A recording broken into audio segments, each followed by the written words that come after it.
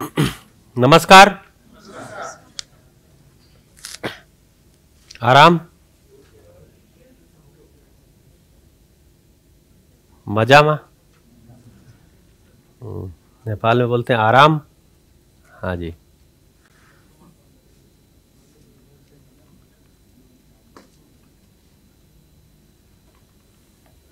बढ़िया तो अभी हम लोग मूल्यों की जो चर्चा किए हैं, उसमें स्थापित मूल्य और शिष्ट मूल्य की चर्चा कर रहे हैं। स्थापित का मतलब जो व्यवस्था के रूप में मेरे में है ही। शिष्ट मूल्य का मतलब कि वो मेरे आचरण में भी आता है। तो जब आचरण में आता है, नमस्ते, आचरण में आता है तो वही बोलते हैं, शिष्टता मेरे में आ रही है, बोलते हैं शिष्ट मूल्य उसको। तो जो आस्वादन में मतलब मेरे आता है, उसको मैं जीने में लेकर के आता हूँ तो उसको कहते हैं मेरी शिष्टता में आता है। शिष्टता का मतलब क्या होता है? शिष्टता, जैसे शिक्षा की एक परिभाषा यहाँ दर्शन में दी गई है। किसी को ने कभी सुना है? शिक्षा की परिभाषा। शिक्षा की एक परिभाषा दी गई है। विद्यार्थी आ गए। हाँ? नहीं देखे। तो शिक्षा की परिभाषा जो दर्शन में दी गई है, उसका उसका जो परिभाषा है वो है शिष्टतापूर्ण शिष्टतापूर्ण आचरण ज्ञान। शिष्टतापूर्ण आचरण ज्ञान ही शिक्षा है। या शिष्टतापूर्ण दृष्टि का उदय। ठीक है, ऐसे भी लिखा है कहीं। हाँ। जी। तो इसको बोलते हैं शिक्षा।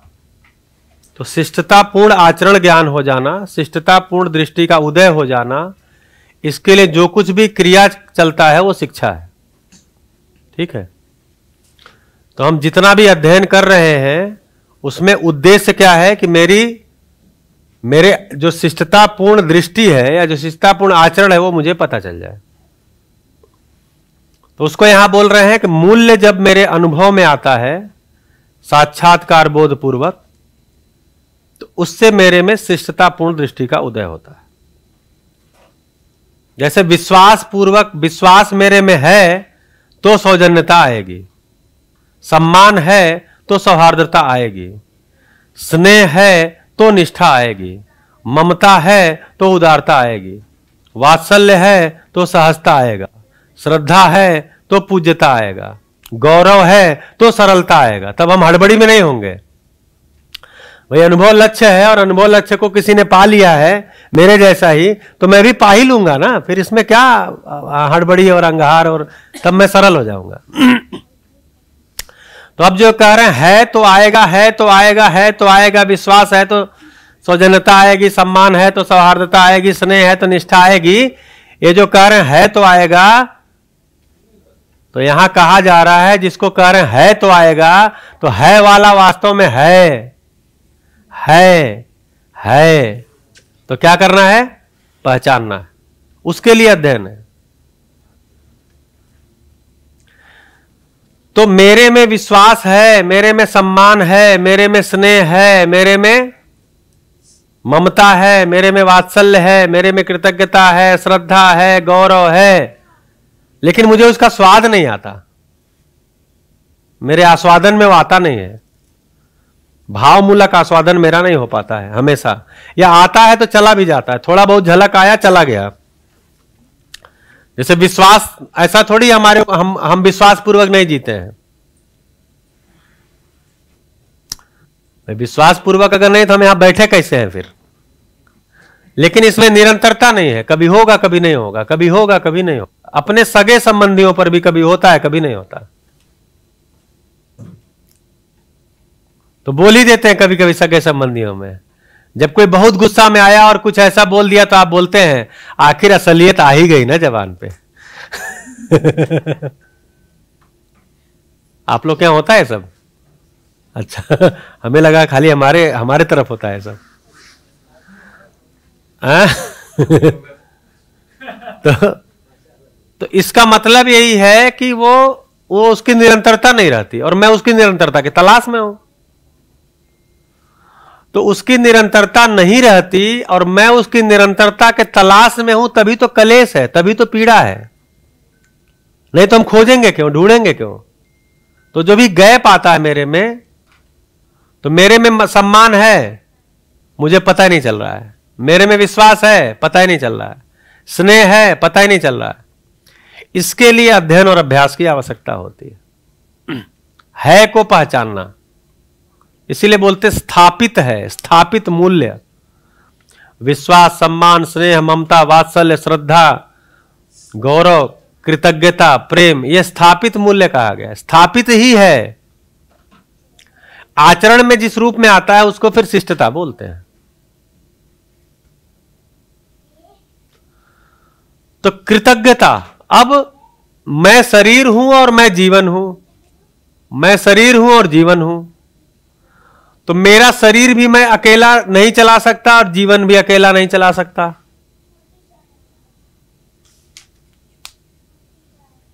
शरीर अकेला नहीं चला सकता। शरीर को जितने चीज़ों की ज़रूरत है, मैं अकेला पूरा ही नहीं कर सकता। और मेरी अयोग्यता कभी कभी शरीर की हो जाती उस समय भी मैं पूरा नहीं कर सकता। जैसे मैं बच्चा हूँ तो मैं अपनी जरूरतों को पूरा नहीं कर सकता। डिपेंड हूँ, बुज़ुर्ग है, बीमार है, वो उस उठ ही नहीं पाएगा। तो उसको बिस्तर पर ही वो उसके नित्य कर्म भी बिस्तर पे होंगे। तो उसको अच्छा नहीं लगता है, लेकिन कोई सेवा कर रहा है, यानी अपने शरीर को नहीं संभाल पा रहा है, लेकिन कोई संभाल रहा है तो कोई ना कोई संभालेगा। शरीर भी मतलब शरीर में भी लोगों की पूरकता रहती है, जीवन में भी लोगों की पूरकता रहती है। मैं अकेले ज्ञान संपन्न नहीं हो सकता। मेरे ज्ञान संपन्न होने में होने में बहुत सारे लोगों की भागीदारी है। बहुत सारे लोगों ने अपना तन मन धन लगाया है। मेरे ज्ञान संपन्न होने में। मेरे ज्ञान संपन्न होने की योजना में कई लोग रात जगे हैं। मैं ज्ञान संपन्न हो जाऊँ, इसके लिए कई लोग रात में भी जगे हैं। जग रहे हैं, जगते होंगे, योजना बनाते होंगे। मैं तो सोचता हूँ, प्रोफेसर यशपाल सत्र ने शिविर की डिज़ाइन बनाई होगी, कितना कल्पनाशीलता चलाए होंगे। किसके लिए? मेरे लिए। तो मेरे ज्ञान संपन्नता में संपन्न होने के लिए लोग अपना तन मन धन लगा रहे हैं। इस पे ध्यान जाना। इसको स्वीकार पाना इसको बोलते हैं कृतज्ञता। मेरे शरीर के लिए बहुत से लोग तन मन धन लगा रहे हैं। मैं अभी रोटी खाया हूँ। रोटी किससे बनती है? गेहूँ से बनती है आटे से बनती है? आप एकदम जंप मार देते हैं। सोचते हैं, चलो अंतिम वाला ही बता देते तो रोटी बनती है आटे से। आटा कैसे बनता है? गेहूँ से। ठीक है। और गेहूँ कहाँ होता है? खेत में। कौन उसके साथ मेहनत करता है? किसान और मजदूर। तो गेहूँ ठंडी के सीज़न में होता है। इसलिए जहाँ ठंड नहीं पड़ती, वहाँ गेहूँ नहीं होता है। तो उसको ठंड चाहिए। और जब ज़्यादा ठंड पड़ती है तो उस समय पाला की संभावना हो जाती है। तो मैंने देखा है कि मेरे गाँव में मेरे चाचा जी या अन्य लोग जो भी खेती करते हैं, मैं देखा हूँ कि जब ठंड में हम रजाई में से पैर भी नहीं निकालते, सर तक ढक लेते हैं और निकलते हैं घर में से तो पूरा सूटेड बूटेड जूता, मोजा, टोपी, मफलर, ये सब कस कुस के ग्लव्स वगैरह तब निकलते हैं ऐसे ठंडी के समय में मैंने देखा है कि मेरे घर के लोग, मेरे गाँव के लोग जो किसान हैं, वो खेत में जाकर के रात में पानी चलाते हैं, खेत में। और मेरे यहाँ जैसे समतल ज़मीन नहीं है, एकदम से फ्लैट, जैसे हापुड़ वगैरह देखेंगे तो बिल्कुल फ्लैट ज़मीन है। एक जगह पानी अगर आता है तो पूरे खेत में फैल जाता है। हमारे यहाँ ऐसा नहीं है। तराई है वो हिमालय की, नेपाल की।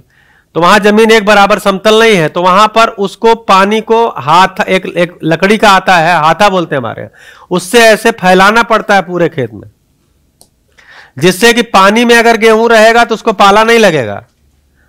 और जब ठंड लगती है तो जो धान का ये पराली होता है इसको आके जला के थोड़ी देर आग ताप लेते हैं फिर उसमें लग जाते हैं। वो किसके लिए कर रहे हैं? मेरे रोटी मुझे चाहिए, मैं उगाता नहीं गेहूँ। तो मेरे लिए कर रहे हैं। तो मेरे शरीर को भी ज़िंदा बनाए रखने के लिए, शरीर जैसा है उसको स्वस्थ बनाए रखने के लिए बहुत सारे लोग अपना तन लगा रहे हैं। वो मुझे याद रहते हैं, स्मरण में रहते हैं। इसी को बोला कृतज्ञता, यानी स्वीकृत रहता है वो वो स्वीकृति रहती है। इसी को बोला कृतज्ञता। अब स्वीकृत होने का मतलब? तो स्वीकृत होने का मतलब इससे मैं सौम्य हो जाता हूँ, यानी मेरे अंदर अब स्वनियंत्रण आ जाता है। यानी अब मैं उन संसाधनों का दुरुपयोग नहीं करता जो इतने सारे मानव के श्रम से आया है। अगर बिजली इतने सारे मानव के श्रम से आई है और प्राकृतिक संसाधनों को जला के आ रही है, ये मुझे ध्यान है, मुझे स्मरण है तो मैं बिजली का दुरुपयोग नहीं करता। नहीं तो एक परिवार में मैं दो तीन साल पहले की घटना में गोरखपुर में गया, एक परिवार में तो वहाँ पर वो बच्चा था, थोड़ा बड़ा बच्चा था तो टैप भी पानी का खुला हुआ था और पंखा बाहर का चल रहा था। तो हमने उससे कहा कि, बेटा, ये बंद कर दो, ये क्यों चल रहा है? वो जानते क्या बोला? बोला, अंकल, आपको प्रॉब्लम क्या है? हम इसका बिल भरते हैं। आपको क्या प्रॉब्लम है? हम बिल भरते हैं, पानी का भी भरते हैं, बिजली का भी भरते हैं। आपको क्या दिक्कत है? तो बच्चा सही बोला कि नहीं बोला? सही बोला कि नहीं बोला?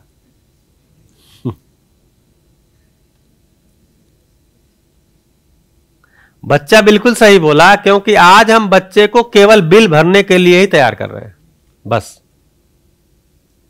सारा शिक्षा, सारा बातचीत, सारा संस्कार, सारा कुछ यही कर रहे हैं कि तुम बिल भरने लायक हो जाओ।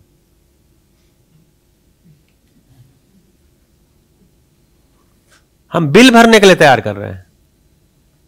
अब उसमें कृतज्ञता आप बात करेंगे तो कहाँ समाएगी वो? कहीं समाएगी नहीं, उसके पास तो कोई सांचा नहीं जिसमें वो बैठे। क्योंकि उसके पास तो सांचा वही है, बिल भरना है।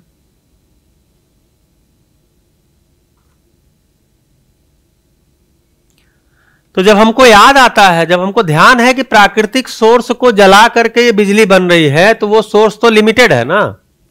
और फिर उसमें लगे हुए बहुत सारे मानव श्रम है। वो मेरे लिए कर रहे हैं तो मैं उसका सदुपयोग करता हूँ। तो मैं अनाज का भी सदुपयोग करता हूँ, आहार का सदुपयोग करता हूँ। जैसे भी बहुत सारे बहुत सारे रिसर्च आए हैं कि जितने लोग दुनिया में भूखे मर रहे हैं, जितने लोग दुनिया में भूखे मर रहे हैं, उनको जितने अनाज की ज़रूरत है जितने खाना की, उसका 60 परसेंट खाना तो रोज फेंका भी जाता है। लोग फेंक देते हैं सड़ने के लिए। तो हम कहाँ सदुपयोग कर रहे हैं? मार्केट इसको ऐसे नहीं बताएगा। मार्केट कहेगा, नहीं, डिमांड बने रहना चाहिए। आप फेंक रहे हो, तोड़ रहे हो, गाड़ रहे हो, बर्बाद कर रहे हो, इससे मतलब नहीं है। डिमांड बने रहना चाहिए। क्योंकि डिमांड एंड सप्लाई पे चलता है। अब डिमांड बना रहेगा तो उत्पादन बना रहेगा, उत्पादन बना रहेगा, तभी सरकार को टैक्स आता सबको, देखिए, जब बाज़ार सारा लोग शहर में आ जाए, ऐसा क्यों होता है? ये जानबूझ के ये किया जा रहा है कि ज़्यादातर लोग शहर में आ जाए, क्योंकि जब तक आदमी गाँव में रहता है, वो टैक्स नहीं देता। उसका जो भी बहुत सी चीज़ें हैं, बहुत सारी उसकी जो दिनचर्या है, उसमें टैक्स शामिल नहीं है। बाज़ार भी अगर असली गाँव है तो बाज़ार भी बहुत कम जाता है। तो टैक्स नहीं आएगा तो सरकार कैसे चलेगी? जैसे ही वो शहर में कदम रखता है उसका टैक्स का मीटर शुरू हो जाता है। तो ये तो जैसे अभी मुझे बाद में पता चला कि जो दवाएँ हैं, वो भी जीडीपी का हिस्सा है। ग्रास डोमेस्टिक डोमेस्टिक प्रोडक्ट का। तो जीडीपी बढ़नी चाहिए कि घटनी चाहिए? जीडीपी बढ़नी चाहिए कि घट, देश के विकास का मानक तो जीडीपी है ना? तो जीडीपी बढ़नी चाहिए कि घटनी चाहिए? बढ़नी चाहिए। आप इसको भी इतना दब के क्यों बोलते हैं? इस पर भी भरोसा नहीं है। ये तो किताब में लिखा ही हुआ है कि जीडीपी बढ़ने से देश का विकास विकसित होता है। तो जीडीपी बढ़ना चाहिए। तो जीडीपी में जीडीपी में दवाओं का उत्पादन भी शामिल है। तो दवाओं का उत्पादन बढ़ना चाहिए कि घटना चाहिए? अरे जीडीपी बढ़नी चाहिए, दवा का उत्पादन कैसे घटना चाहिए? दवा भी जब जीडीपी में शामिल है तो जो जीडीपी बढ़नी है तो दवा का भी उत्पादन बढ़ना है। और दवा का उत्पादन बढ़ने के लिए क्या होना चाहिए? बीमारियाँ बढ़नी चाहिए। इसीलिए बीमारियाँ बढ़ती भी हैं और बिना बीमारियों का प्रचार भी बहुत होता है और बीमारियों को के लिए भयभीत भी बहुत किया जाता है। जैसे मेरी पत्नी को डेंगू हुआ 2018 में। बेटे और पत्नी दोनों को एक साथ हो गया। अब मैं दिल्ली में, अब हमें, मैं ही देखने वाला तो हमने कहा डॉक्टर साहब से कि इन लोगों को एडमिट कर दें। बोले, नहीं नहीं, आप घर में रखिए। और सुबह एक बार दिन भर में मैं ब्लड का सीबीसी काउंट कराता रहूँगा और मेरे पास वो लड़का रिपोर्ट भेजता रहेगा। तो हमने कहा, नहीं, वहाँ इलाज हो जाएगा। बोले, इसका इलाज क्या होता है? डेंगू का कोई इलाज थोड़ी होता है। मैं केवल ये ध्यान रखना है कि प्लेटलेट ज़्यादा ना गिर जाए, ज़्यादा गिर गया तो चढ़ाया जाएगा, बस। बाकी इसका कोई इलाज तो है नहीं। बोले कोई इलाज नहीं है। आप घर में रखिए। मैं दस दिन आठ दिन दस दिन बारह दिन में छुट्टी लेके घर में रहा सेवा किया उनके हिस्से का मैं काम किया नारियल पानी मतलब लिक्विड ज़्यादा देना इनको भी शायद हुआ है ना? वो हो चुका है। हो चुका है। दिल्ली में रहते हुए कि यहाँ आके? हाँ, दिल्ली में प्रसाद मिल जाता है। मुझे नहीं मिला अभी तक।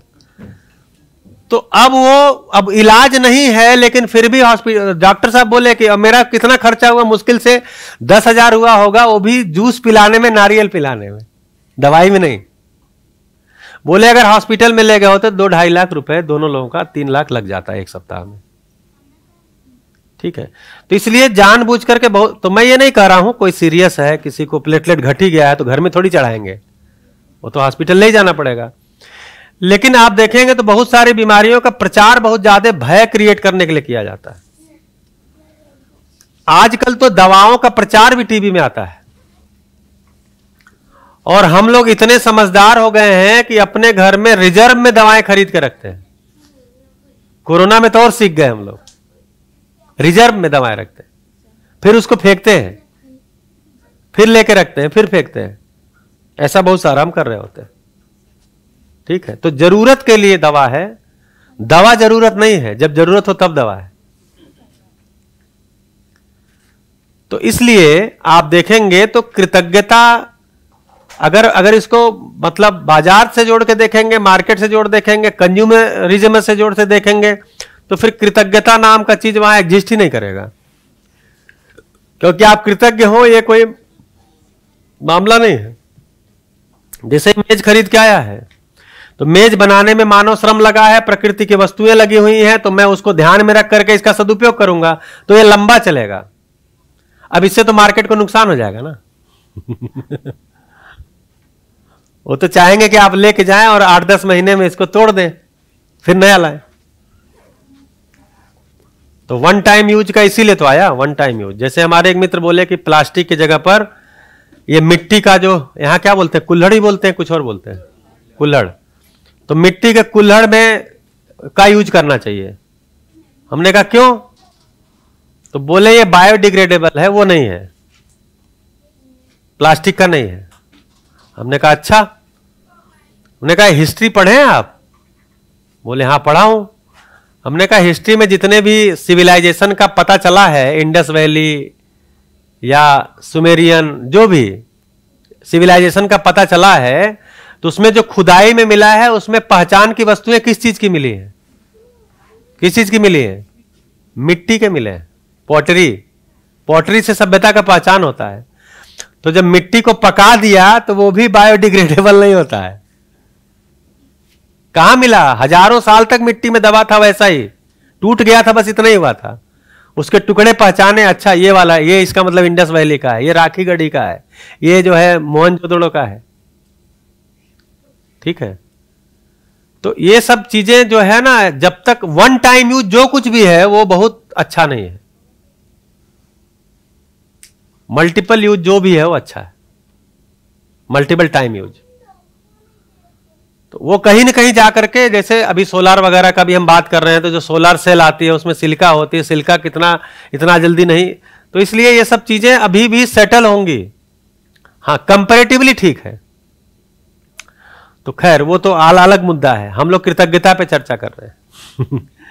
ठीक है तो कृतज्ञता जो है, ये परिवार में आएगी, शिक्षा में आएगी, तभी समझ में आएगी। अब ये ज़रूरी क्यों है? ज़रूरी इसलिए है कि बिना कृतज्ञ हुए हम रिलैक्स नहीं हो पाते। रिलैक्स नहीं हो पाते। बिना कृतज्ञता के समाज का निर्माण भी नहीं होता। क्योंकि बहुत सारे संबंध, अगर पति पत्नी संबंध भाई बहन संबंध माता पिता संतान संबंध को छोड़ दे तो बाकी सारे संबंध कृतज्ञता पर ही आधारित है। उसमें भी कृतज्ञता है, ये नहीं कह रहा हूँ। लेकिन पारिवारिक संबंध में तो चल जाएगा ब्लड रिलेशन है, मजबूरी है। लेकिन बाकी के संबंध तो कृतज्ञता पर ही आधारित है। तो कृतज्ञता के बिना समाज व्यवस्था नहीं, इसलिए बाबा जी ने लिखा है मानव का कृतज्ञ होना अनिवार्य है। अगर मानव कृतज्ञ नहीं हुआ तो वो शुष्क हो जाएगा, ड्राई हो जाएगा। उसी लोग उसी लोग बोलते हैं आदमी मर चुका है, इसका जमीर मर गया है। तो मानव जो कि बिना दूसरे को सहयोग, मानव की संतान तो ऐसा होता है जैसे पशुओं की संतान है। तो पशुओं के संतान जब जन्म लेते हैं तो माँ का, माँ से दूध कहाँ मिलता है, उसको भी जानते हैं, वो पहचान जाते हैं, फटाक से कूद के शुरू करते हैं पीना। मानव का बच्चा तो वो भी नहीं जानता है। जन्म ले लेता है, उसको पता नहीं रहता है कि मुझे दूध कहाँ से मिलेगा। उसको सिखाना पड़ता है, बताना पड़ता है, अभ्यास कराना पड़ता है। तो मानव संतान को देखेंगे तो जन्म से लेकर के और आगे तक, बड़ा होने तक, बूढ़े होने तक वो निर्भर ही है। दूसरे मानवों पर, प्रकृति पर तो है ही, दूसरे मानवों पर निर्भर है।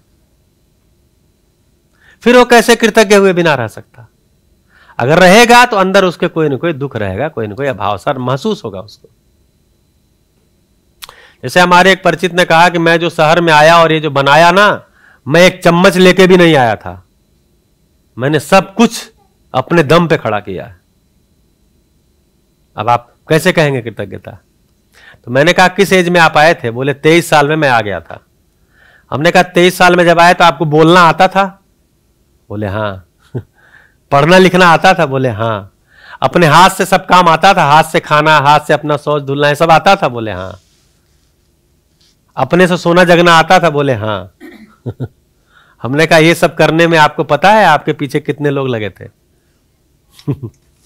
ये सबको आपको आ जाए, इसको सिखाने, समझाने में कितने लोग लगे थे, तब आपको आया है। तो जब आप तेईस साल में आए हैं तो हज़ारों, हज़ार लोगों के सहयोग से आप आए और फिर जो आपने यहाँ बनाया है, ये बिल्डिंग क्या आपने हाथ से बनाए हैं?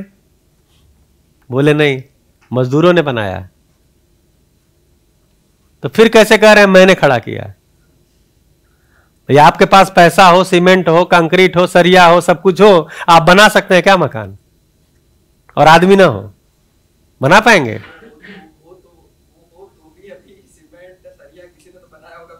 हाँ सीमेंट सरिया भी बनाया होगा। तो इस तरह से अगर हम गणना करेंगे, देखेंगे, ध्यान देंगे तो मानव के ज़िंदा रहने में ही अनेक मानवों का योगदान है। तो क्या करना है? अब इसमें करना है कि इतने सारे मानवों की लिस्ट बना के रोज उनका माला जपना है। हाँ क्या करना है फिर?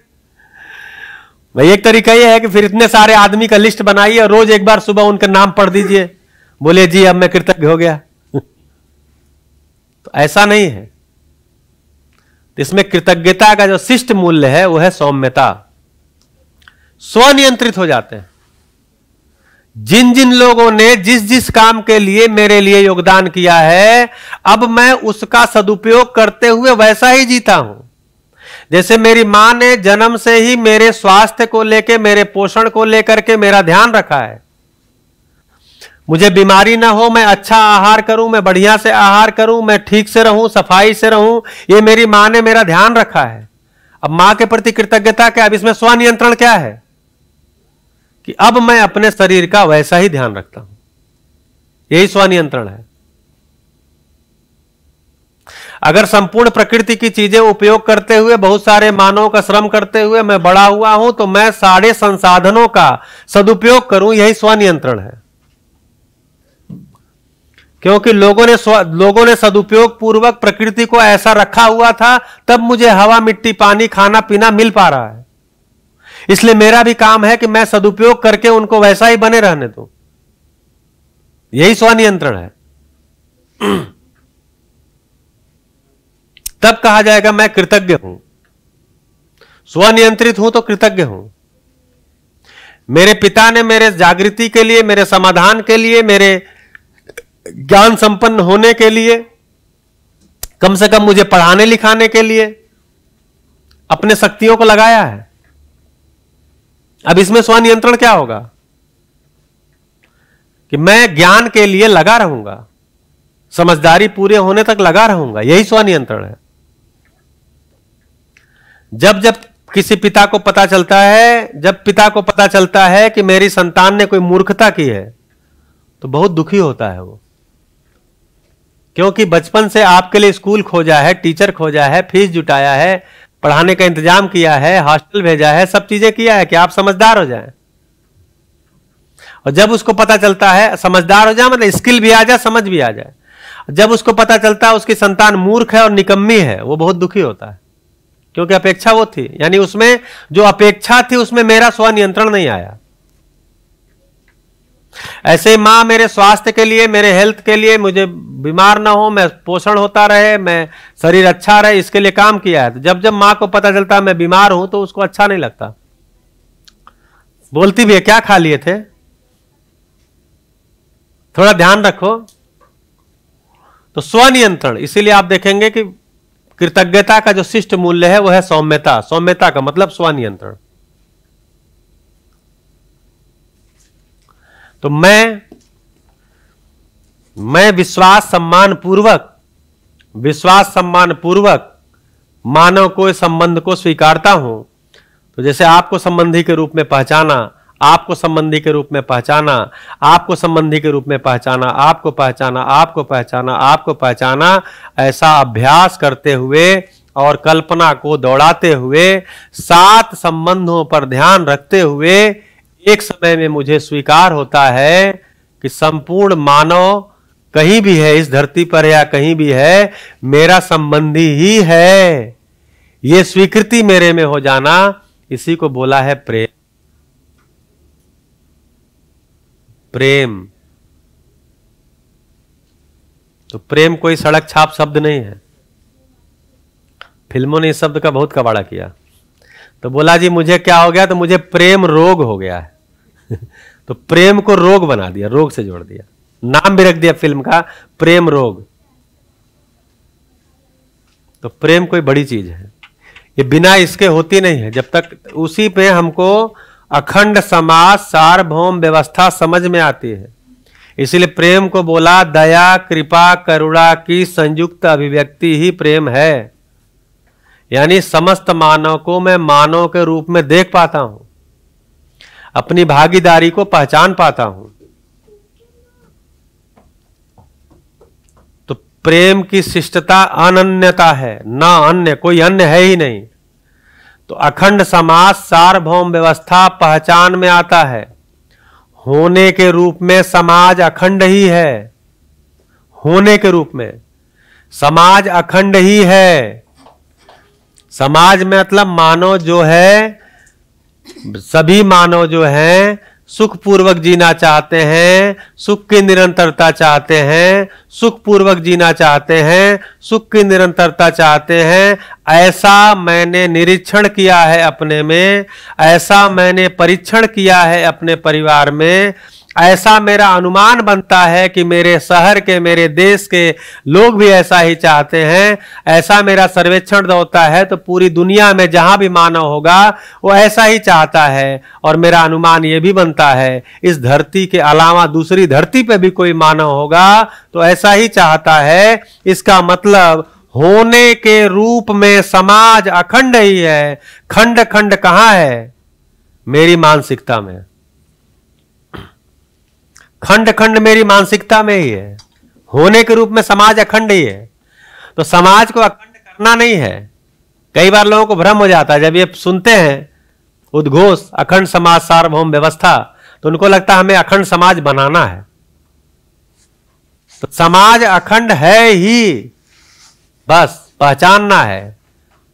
स्वीकृत होना है। खंड खंड जो है वो मेरी मानसिकता में है।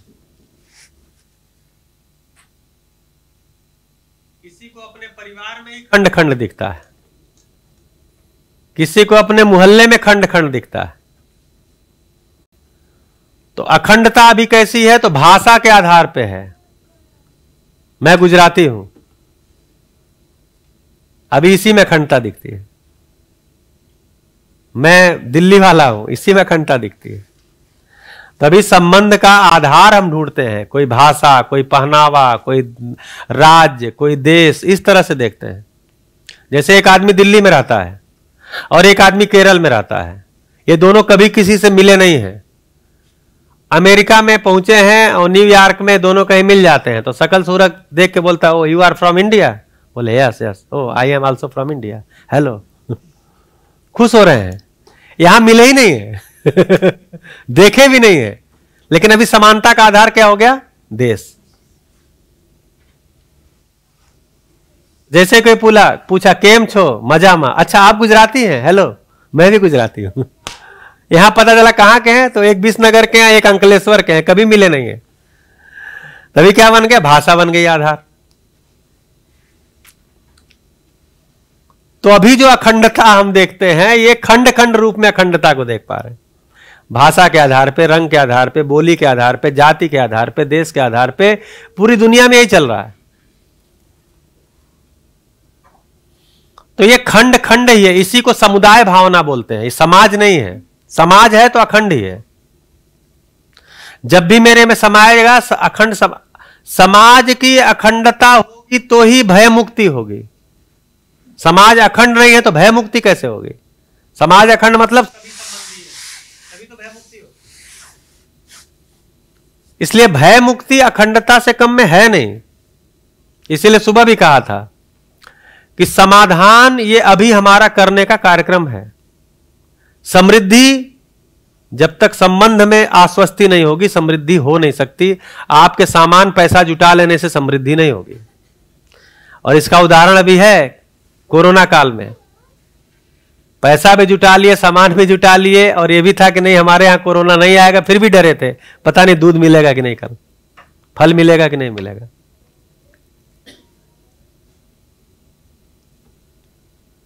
ठीक है। और प्रतीक ही था शहर के लोगों के पास काम का एक ही चीज़ है, क्या?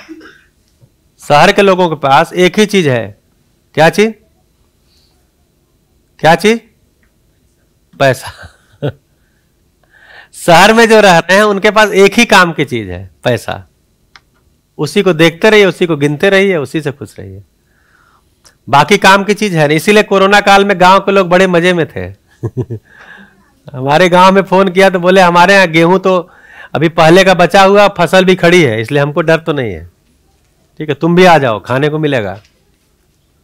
तो पैसा को क्या हो गया? हमने प्राप्ति मान लिया, प्रतीक को प्राप्ति मान लिया।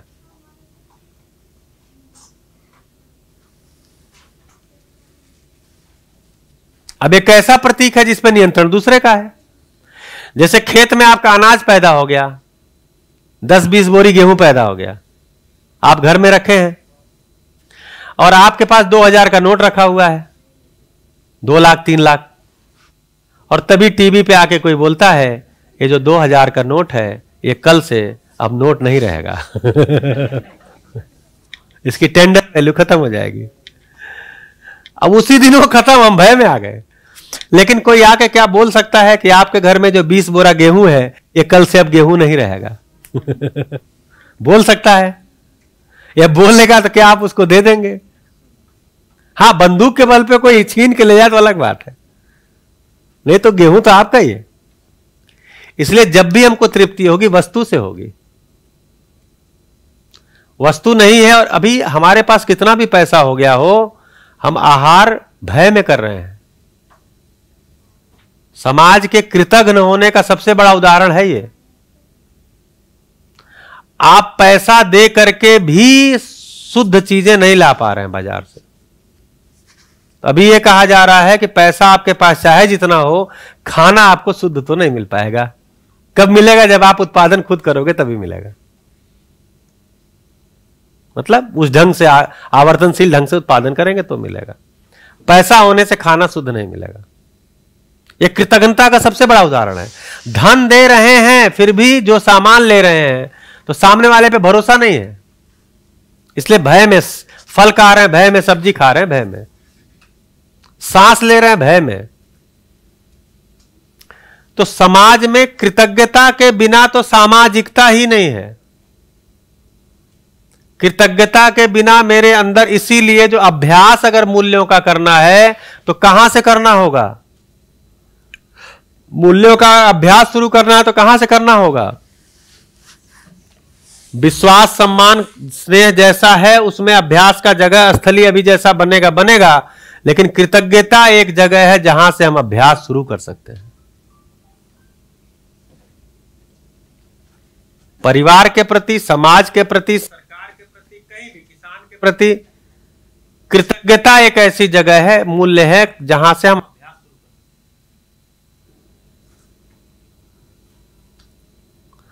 तो प्रेम मूल्य ये मेरी ज़रूरत है। मैं चाहता हूँ कि मेरे आसपास सभी समझदार हो जाएँ। मैं चाहता हूँ कि मेरे आसपास जो है उससे मेरा कोई संबंध पता चल जाए। तभी तो हम यात्रा के दौरान जब बातचीत शुरू, पहले तो बातचीत शुरू नहीं होती है। धीरे धीरे किसी बहाने से शुरू होती है। पहले शुरू होती है अगर रेल से जा रहे तो रेलवे की शिकायत से शुरू होती है। देखो अभी जी, टाइम हो गया, रेल चली नहीं। इसका तो कुछ नहीं हो सकता। और चदरे देखो कैसी देते हैं लोग। तो भी बोलेगा, जी, ऐसी तो बात है। और एसी देखो ना, इनका पता ही नहीं चल रहा है। यही से शुरू होगी। बाद में पूछेंगे, आप कहाँ जा रहे हैं? आप कहाँ रहने वाले हैं? अच्छा जी। धीरे धीरे धीरे धीरे धीरे धीरे कोई रिलेशन कोई बॉन्ड हमारा बनता है, फिर हम रिलैक्स हो जाते हैं। तो हम संबंध को पहचानना, कोई ना कोई संबंध को पहचानना चाहते हैं, तभी हम रिलैक्स होंगे। भले ही वो भाषा के आधार पे हो, बोली के आधार पे हो, रूप के आधार पे हो, देश के आधार पे हो, किसी भी आधार पे हो, लेकिन हम कोई न कोई संबंध को जान करके ही आश्वस्त होते हैं। इसका मतलब क्या है? इसका मतलब क्या है? इसका मतलब है कि जो समस्त मानव से मेरा संबंध है, ये मैं चाहता ही हूँ। यानी प्रेम मूल्य मैं चाहता ही हूँ।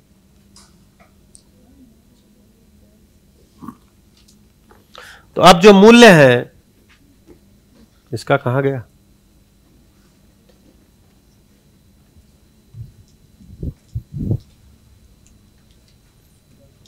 हाँ भैया, पूरा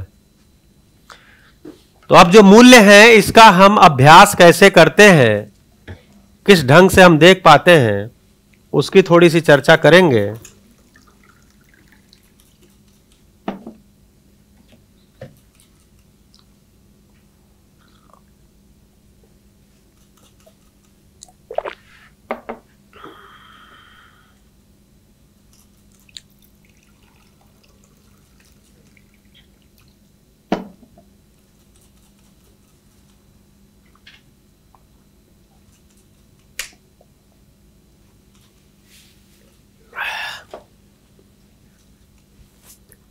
रियान, ये लोग क्यों पढ़ रहे हैं? जान रहे क्यों पढ़ रहे हैं? क्योंकि आपकी उम्र में ठीक से पढ़े नहीं थे। इसलिए आपकी क्या ज़िम्मेदारी बनती है? कि आप अभी से ठीक से पढ़ लीजिए। आपकी उम्र में लोग ठीक से पढ़े होते हैं ना तो यहाँ नहीं ऐसे मेज लगा के बैठ के पढ़ना पड़ता।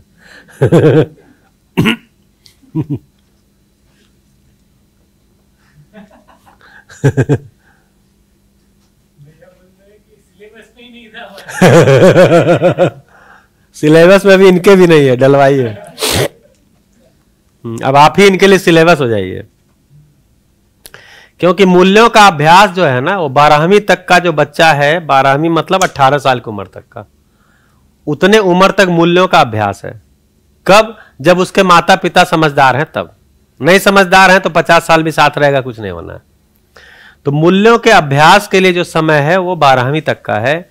इसीलिए बारहवीं तक तो बच्चे को हॉस्टल नहीं भेजना चाहिए।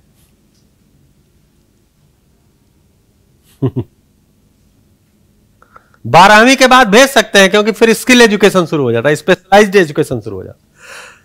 कोई स्किल सीखना है, कोई स्पेशलाइजेशन करना है। उसमें कोई दिक्कत नहीं है। लेकिन मूल्यों का अभ्यास 18 साल तक होता है। 18 साल तक तो अपने साथ बच्चे को रखना चाहिए, लेकिन अपनी समझ बढ़ी है तब। नहीं बढ़ी है तो हम रोज झगड़ा करेंगे भाई वो भी देखेंगे, वो भी झगड़ा सीखेंगे। उससे अच्छा हॉस्टल ही भेज दिया जाए।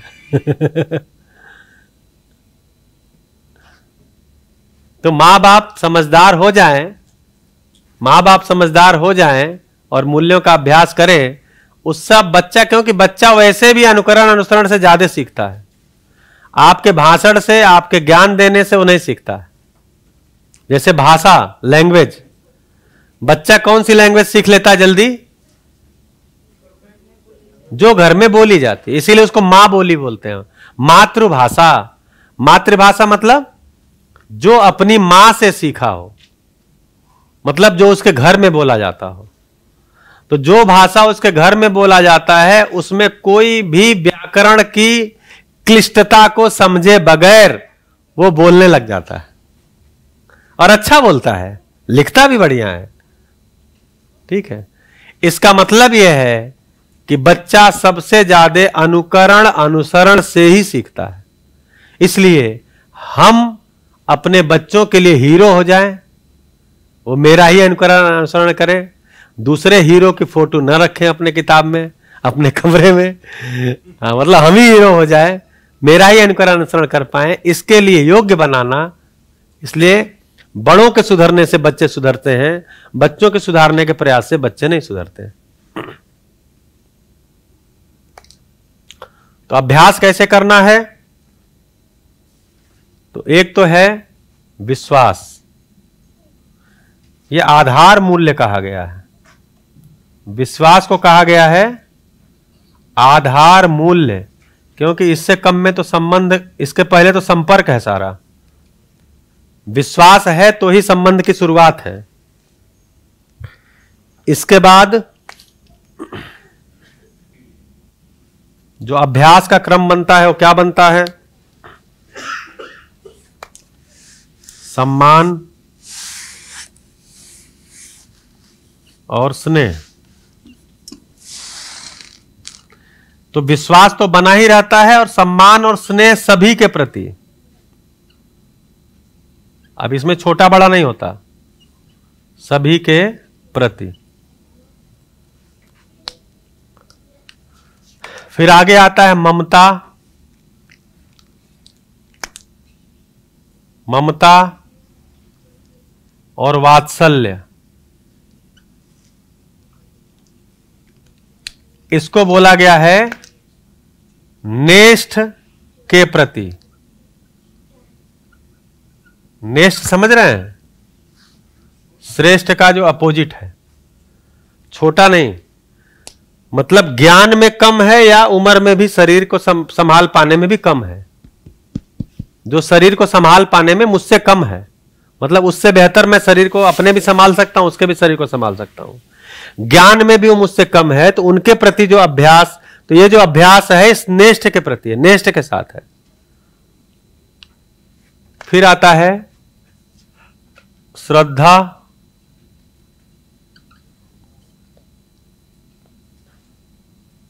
गौरव और कृतज्ञता। तो हालाँकि कृतज्ञता भी श्रेष्ठ के प्रति ही कही जाती है, क्योंकि जिस चीज़ में मैं सक्षम नहीं हूँ, उसके लिए कोई दूसरा मेरे लिए कर रहा है तो मुझसे वो श्रेष्ठ ही है। स्किल के मामले में या किसी मामले में? तो यह भी श्रेष्ठ के प्रति ही कहा जाता है। श्रेष्ठ के प्रति। श्रेष्ठ के साथ इसका अभ्यास। फिर आता है अंत में, जिसको बोलते हैं प्रेम। इसको बोलते हैं पूर्ण मूल्य। पूर्ण मूल्य।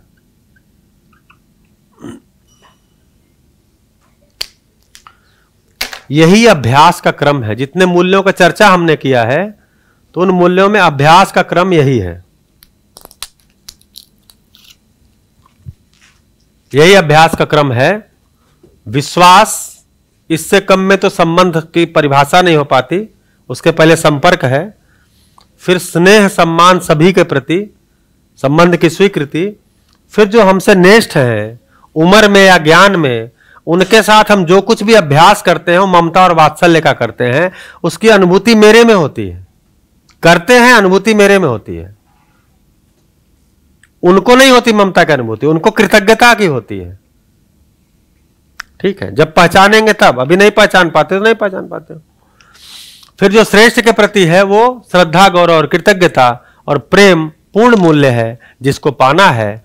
तो एक्चुअली अगर देखें हम, अगर देखें तो जो मानव में, मानव का, मानव के साथ संबंध है, वो इसी अभ्यास के लिए ही संबंध है।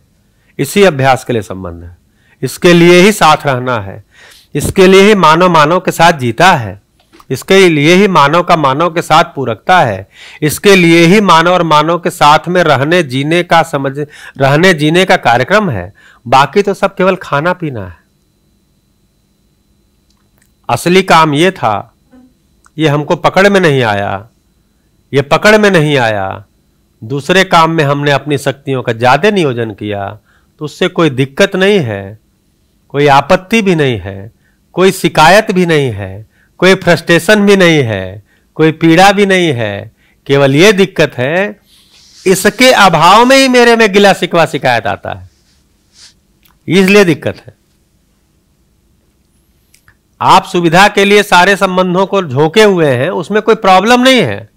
लेकिन इसका गैप महसूस होगा, बार बार बार बार बार बार होगा। देखो ना, इनके लिए मैंने कितना किया। इनके लिए मैंने कितना किया। और इनकी जरा देख लो, क्या हाल है। अब ये क्या चीज़ है? जो कृतज्ञता में महसूस करना चाहिए था, वो नहीं मेरे अंदर हो रहा है। मैंने इसके शरीर का इतना ध्यान दिया और जैसे ही बाहर गया, इसने शरीर को चौपट कर दिया। यानी जो ममता है, उसकी स्वीकृति जो मेरे में बनी थी, वो मुझे कुछ गैप महसूस हो रहा है। तो एक्चुअली इन्हीं इन मूल्यों का अभ्यास नहीं करने से उसकी अतृप्ति मेरे में ही होती है। इसलिए कह रहे हैं कि यह अभ्यास ज़रूरी है यह करना ही है। नहीं करेंगे तो अतृप्ति रहेगी, बस इतना ही होगा और बाकी कुछ आपका नहीं बिगड़ना है। हाँ ना आपकी गाड़ी छीनी जानी है, ना आपका कपड़ा छीना जाना है, ना आपका खाना छीना जाना है, ना आपकी मौज मस्ती छीनी जानी है, ना आपका चिल होना छीना जाना है, छीना जाना है। कुछ भी नहीं छीना जाएगा। बस ये इसका अभाव आपको ही महसूस होगा, मुझे ही महसूस होगा, अगर इस पर भी काम नहीं हो रहा है तो। तो अभी जैसे जैसे लोगों के पास संसाधन बढ़ा है, जैसे जैसे लोगों के पास सुविधाएँ बढ़ी हैं जैसे जैसे ज़िंदगी फास्ट हुई है, इतनी फास्ट हुई है कि फ़ूड भी फास्ट आ गए हैं। क्या नाम रखा है? Fast food. उसकी खासियत जानते हैं क्या होता है? और जितनी, जितना ज़्यादा फास्ट फ़ूड खाएँगे, उतने फास्ट आप दुनिया से विदा हो जाएँगे। वो फास्ट कर देता है हर चीज़ को। अभी गांधीनगर में जिनके परिवार में रुका था, उनके बच्चे ने कहा कहा कि, अंकल, मैं, ये पापा तो इतने उम्र के हो गए, अभी दस बीस साल और जिएँगे, मैं तो फास्ट फ़ूड वाला हूँ ना पिज्जा बर्गर वाला। मैं तो पचास साठ साल निकाल लू, वही ज़्यादा है। तो फास्ट जो ज़िंदगी हुई है, उसमें हर चीज़ फास्ट हो गया। हर चीज़ फास्ट हो गया। और मूल्य स्लो हो गया। इसीलिए उसकी अतृप्ति हमारे अंदर बनी हुई है।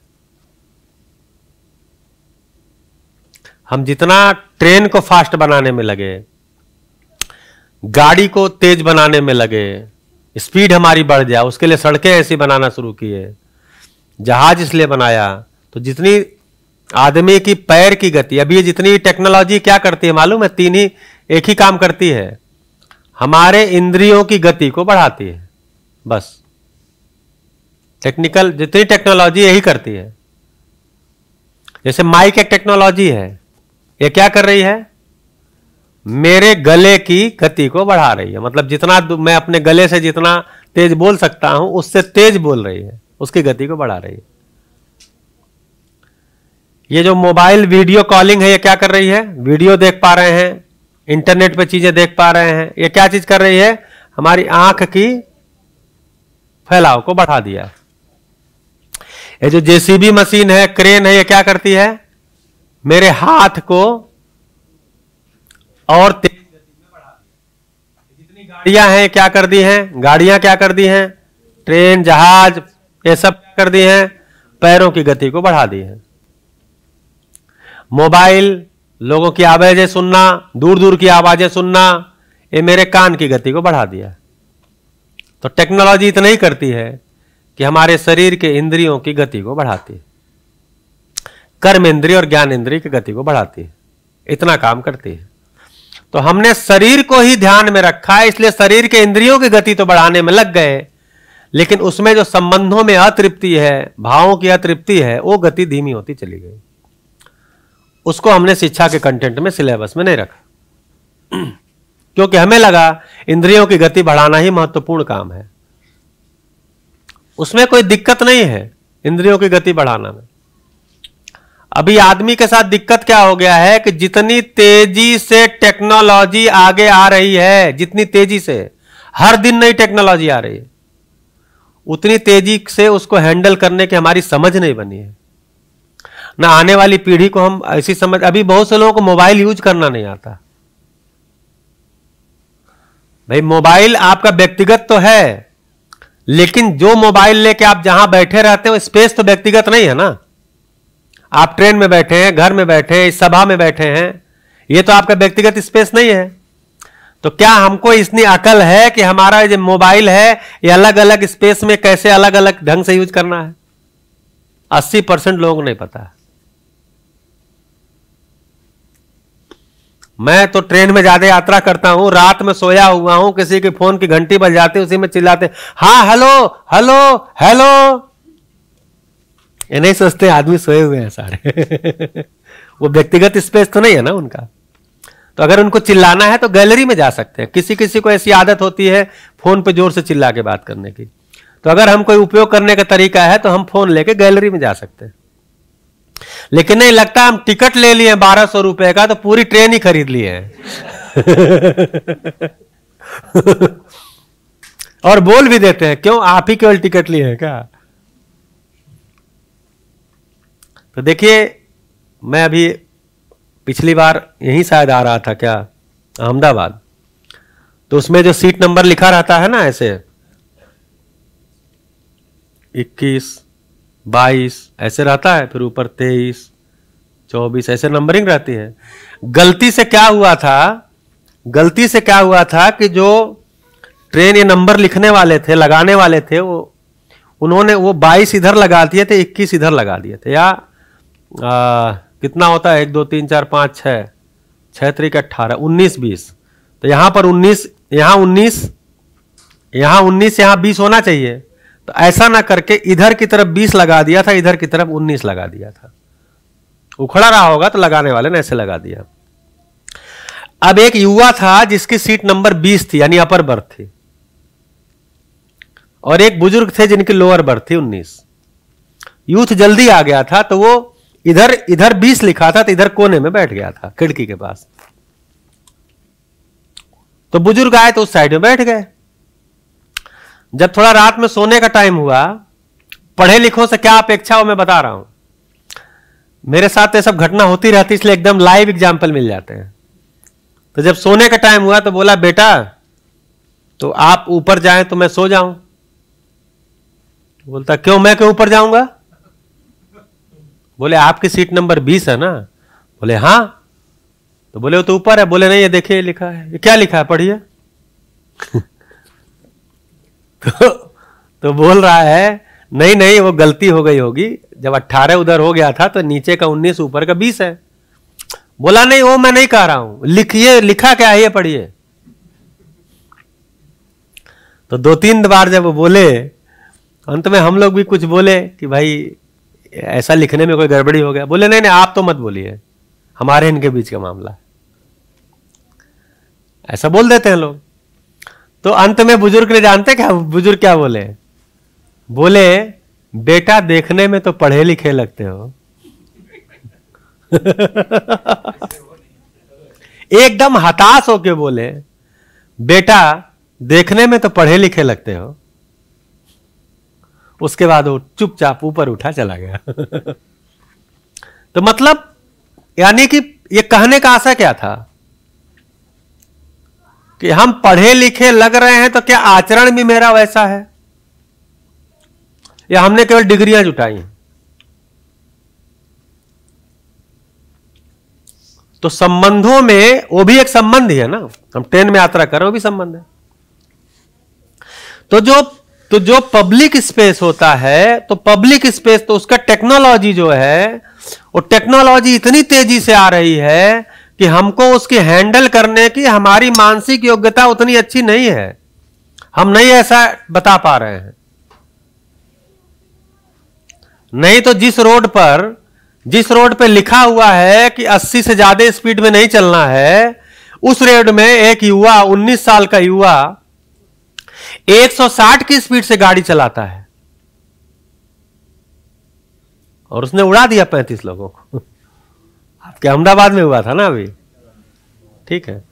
तो अब क्या चीज़ है? अब टेक्नोलॉजी तो उसके हाथ में आ गई, गाड़ी। उसमें मीटर भी लगा दिया है 240-50 तक। और एक्सीटर भी दबाने कांटा भागता ही है।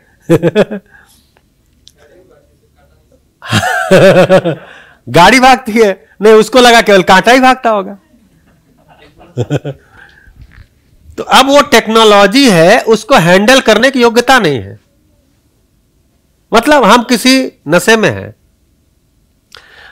तो ये बिल्कुल ही राइट टाइम है जब हम टेक्नोलॉजी के साथ ज्ञान पर, समझ पर अच्छे से काम करें।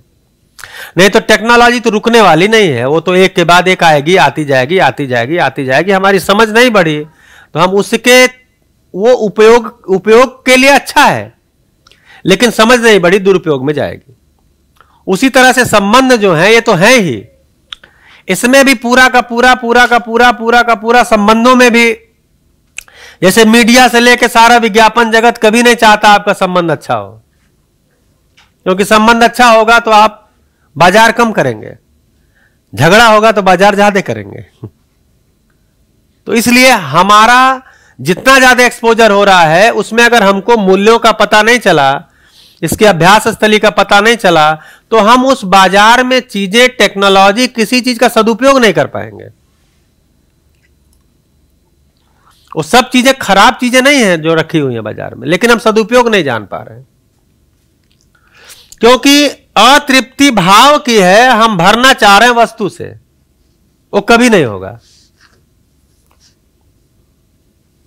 हमारी जो अतृप्ति है, हमारा जो कलेश है हमारे बीच में संबंध में जो हारमोनी नहीं हो पा रही है, वो भाव के अभाव में हो रही है, हम उसको भौतिक सामान से भरना चाह रहे हैं। वो हो नहीं पा रहा, मैनेज नहीं हो रहा वो। कितना भी लाइए, कमी हो जा रहा है। गिफ्ट से घर भर गए, लेकिन मुँह सीधा नहीं हुआ।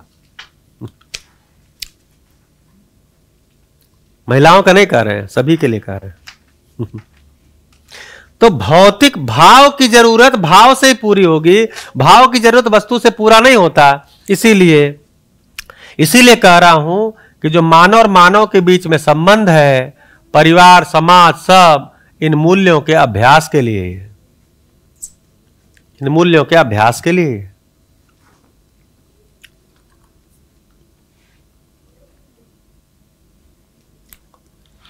तो अभी जब तक अनुभव नहीं हुआ है, तब तक मूल्यों का अभ्यास अभ्यास पूर्वक मूल्यों का अभ्यास करना है।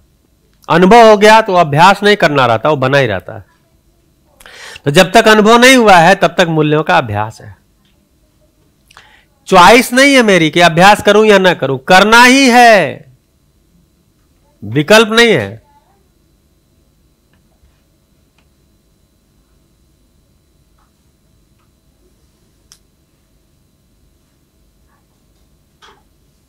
तो संबंध किस किस के बीच में है? जीवन और जीवन। संबंध को पहचानने वाला कौन है? जीवन। संबंध को पहचानने वाला जीवन है। संबंध मानव और मानव के बीच में है। मानव मतलब शरीर प्लस जीवन। संबंध को पहचानने वाला जीवन है। संबंध को निर्वाह करने वाला जीवन है। तो जब संबंध को पहचानने वाला जीवन है तो मूल्यों को भी पहचानने वाला जीवन है। संबंध को निर्वाह करने वाला जब जीवन है तो मूल्यों का अभ्यास करने वाला भी जीवन है। इसलिए कह रहे हैं, पहले दिन से ही जितना जितना जितना जितना मेरा ध्यान रहेगा, मैं जीवन हूँ, मैं जीवन हूँ, मैं जीवन हूँ, मैं जीवन हूँ और मैं जीवन हूँ। इसको रटना नहीं है, मेरे ध्यान में कितना बना रहता। तभी हमें मूल्य भी पकड़ में आते हैं, तभी उसका अभ्यास भी होता है, तभी हम उस पर ध्यान भी बना रहता है, तभी मैं अपनी इच्छा, विचार, आशा को पहचान पाता हूँ, तभी मेरे अंदर चित्रण जो हो रहा है उसकी समीक्षा भी कर पाता हूँ, नहीं तो हमारे अपने चित्रण को लेकर मैं ढोता रहता हूँ। जैसे कोई गठरी आप पीठ पे लेके ढो रहे हैं, गठरी समझते हैं ना, क्या गठरी को बोलते हैं यहाँ पे? पोटली। तो कोई कोई सामान की गठरी अपने पीठ पे लाद के घूम रहे हैं और उसके अंदर उसके अंदर ऐसे सामान है जो सड़ रहे हैं तो उसकी गंध किसको आएगी सबसे ज़्यादा? जो ढो रहा उसी को आएगी। उस गठरी को नीचे उतार के कभी तो देख तो लेना है ना कि इसमें से कौन कौन चीज़ें गंध वाली हैं। उनको तो कम से कम हटा दीजिए। हम वो भी हटाने को तैयार नहीं है। हमको लगता दाग अच्छे हैं।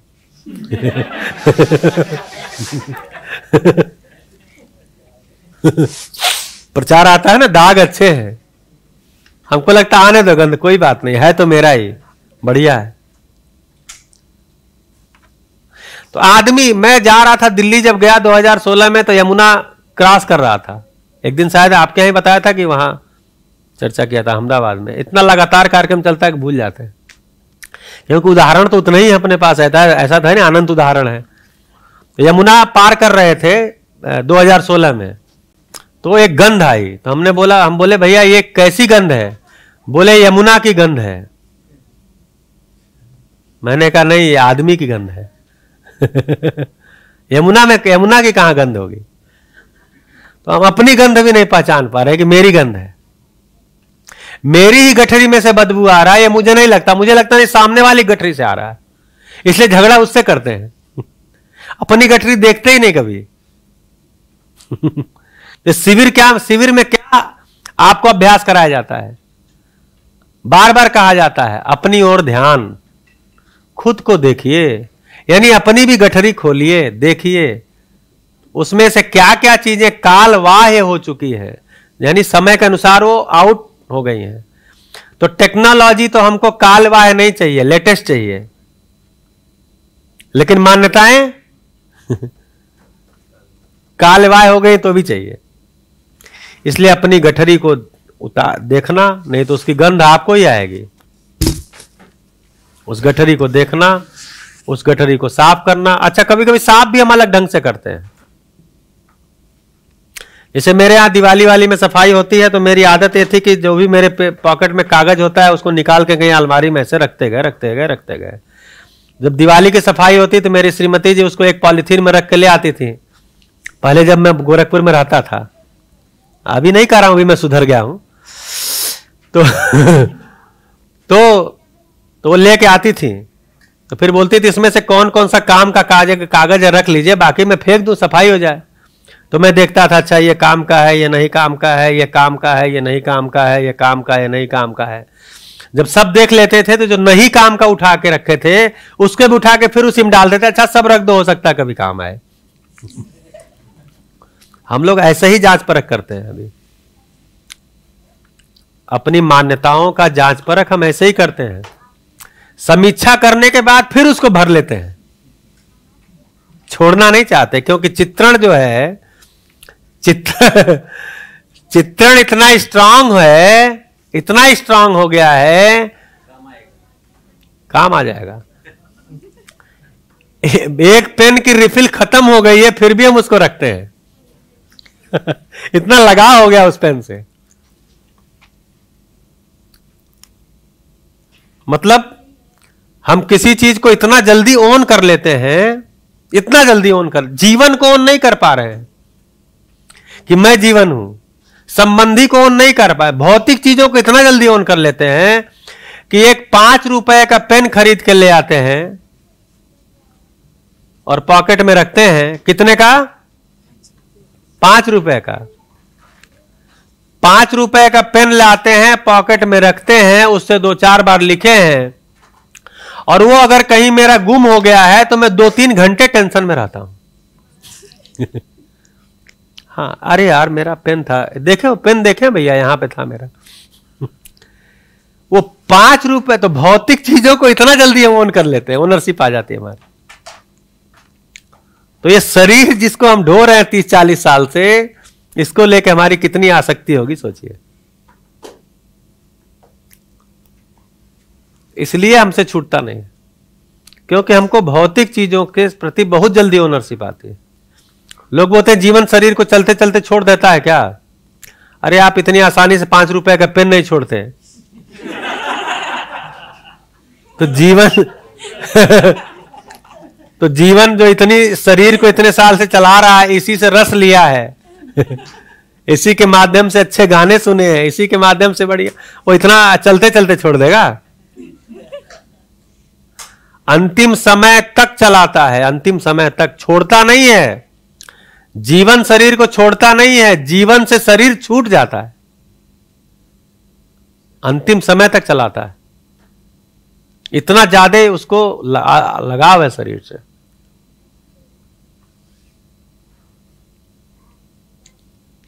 इसीलिए तो मैं स्वयं को शरीर ही मानता हूँ। इतना ज़्यादा आसक्ति हो जाती है कि वो भूल ही गया है कि मैं जीवन हूँ। दस बार शिविर करने के बाद, अध्ययन करने के बाद, बार बार ध्यान दिलाने के बाद हमको कितना देर होश रहता है कि मैं जीवन हूँ। इसका मतलब क्या है? कि जीवन ने शरीर को इतना तगड़े से स्वीकार लिया है कि तद रूप हो गया है। यानी स्वयं शरीर ही मान लिया है। इसीलिए शरीर की आवश्यकताओं को ही अपनी आवश्यकताएँ मान लिया है।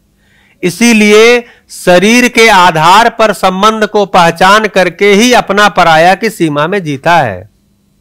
क्यों? क्योंकि स्वयं को शरीर माना हुआ है। इतना तगड़ा मान्यता, इतना तगड़ा चित्रण है। छूटता नहीं है। कठिन है। आदमी बनना कठिन है। लोग बोलते हैं, कितने समय में हो जाएँगे? दो चार साल में हो जाएँगे। तो मैं कहता हूँ, एक डॉक्टर बनने में कितना टाइम लगता है? एक डॉक्टर बनने में कितना टाइम लगता है? डॉक्टर मतलब जो शरीर का जानकार है। कितना साल लगता है? बारह साल तो इंटर पढ़ता है, पाँच साल बीएससी मतलब एम बी करता है, सत्रह। अच्छा जो बारह साल इंटरमीडिएट बारह साल तक इंटरमीडिएट पढ़ा और पाँच साल बाद एमबीबीएस करके आया, उसको आप दिखाने जाएँगे? अभी तो एमबीबीएस को डॉक्टर मानते ही नहीं है। मेरे समय में तो बोलते थे, ये एमबीबीएस है। अब बोलते हैं अच्छा ये एमबीबीएस है? तो एमडी करेगा एमएस करेगा। अच्छा अभी एमडी एमएस भी नहीं, अपने को कम मानता तो डीएनबी करता है एमसीएच करता है। ठीक है, इतनी सारी डिग्री। जब उसकी डिग्री पढ़ लेते हैं, भले ही हमको पता नहीं डीएनबी का मतलब क्या होता है एमसीएच का मतलब क्या होता है एफ़ सी डब्ल्यू ए का मतलब क्या होता है, कुछ भी नहीं। लेकिन हम पढ़ते बोलते अच्छा इसके पास इतनी डिग्री है। तो यानी 12 साल इंटर पढ़ा, पाँच साल एमबीबीएस किया, दो साल एमडी किया, और कोई डिग्री किया। तब भी हम पूछते हैं, कितने साल से देखते हैं? तो चार पाँच साल का एक्सपीरियंस हुआ। यानी सत्ताईस, अट्ठाईस साल में हम किसी को डॉक्टर मानने को तैयार होते हैं जिसको हम दिखा सकें। शरीर। तो सत्ताईस, अट्ठाईस साल अगर एक डॉक्टर को बनने में लगा है तो हम तो आदमी बनने को कह रहे हैं, इतनी जल्दी में क्यों है आप? इतनी हड़बड़ी क्यों है आपको? इतना निराश क्यों जल्दी हो रहे हैं? समय तो लगेगा। समय लगेगा। लेकिन समय लगना मुद्दा नहीं है। अगर सार्थक दिशा में लगा है तो हमको अच्छा लगता है।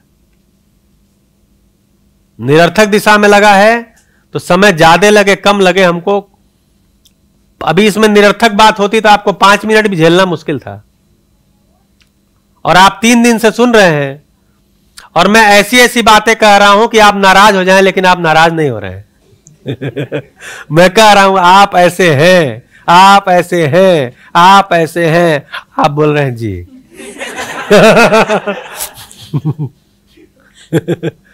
है कि नहीं? तभी तो हापुड़ में टीचर बोली थी कि अब हमें समझ में आ गया। आप मेरे हाथ से ही मेरा पोस्टमार्टम करवाते हो।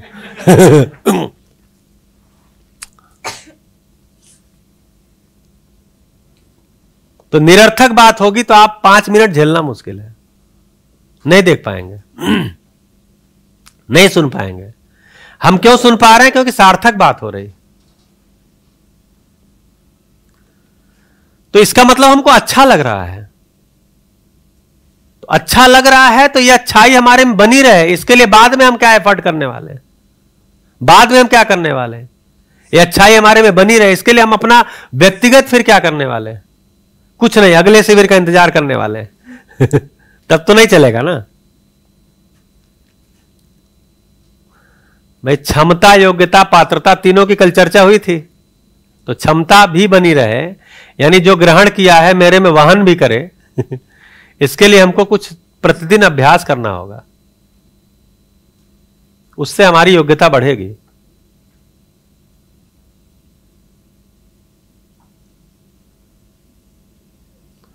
हाँ जी, बढ़िया। सोम भाई वाली ट्रेनिंग नहीं हुई है क्या? बढ़िया? ये देखिए इससे होता है अपनी पीठ ठुकवाना। बढ़िया? हाँ। तो अभी जितना मैं सोचा था टाइम कितना हो गया? तो जितना हाँ तो जितना मैं सोचा था कि आपके साथ चर्चा करूँगा तीन दिन में तो मैं अपनी योजना में सफल रहा। जीवन क्रिया पे चर्चा किया, संबंध पे किया और मूल्य पे किया। तो मेरी जो हिमांशु भाई से चर्चा हुई थी, इतने की हुई थी। हमारा एग्रीमेंट इतने का हुआ था। कॉन्ट्रैक्ट तो अब इसमें जितनी मेरी योग्यता थी, जितना मैं अपने अध्ययन से अपने को जाँच पाया हूँ, जी के देखा हूँ, बाबा जी से सुना हूँ बार बार सुना हूँ, उसके अनुसार मेरी जो स्पष्टता बढ़ी है जितनी, पुस्तकों को ध्यान में रखते हुए, वांग्मय को ध्यान में रखते हुए तो इसमें हो सकता है मेरी कहीं व्याख्या आपको बुक से उलट लग गई हो। तो वो व्याख्या है जो मैंने अपने अंदर पहचाना है। वस्तु वही होगी जो किताब में है। परिभाषा वही है जो किताब में है। उस परिभाषा को समझने के लिए मैंने जो अपने अंदर स्थिर किया है परिभाषा, अरे शब्दावली, वो आपके सामने रखा है। क्योंकि किताब में कारणात्मक भाषा है या गुणात्मक भाषा है, मैं व्यवहारिक जीवन के उदाहरण ला करके उसको व्यवहारिक भाषा देने की कोशिश करता हूँ, लेकिन फिर अंत में परिभाषा पे आपको ले जाता हूँ, जिससे कि वो आपको ध्यान में रहे। तो उसके अनुसार मेरी जो योग्यता है, मैंने जो समझा हुआ है जितना मेरी क्षमता है, जो मैं वहन कर रहा हूँ। तो बाबा जी के प्रति आभार व्यक्त करते हुए मैं अपने तरफ़ से ये जो तीन दिन से चल रही है सभा को, इसको अपने तरफ़ से अब विराम कर रहा हूँ। बाकी मेरी अपेक्षा है कि हर व्यक्ति, आप लोग जितने भी लोग हैं, हर व्यक्ति इन तीन दिन में अगर एक बात पकड़ में आई है तो एक ही बात बताएँ, लेकिन बताना सबको है।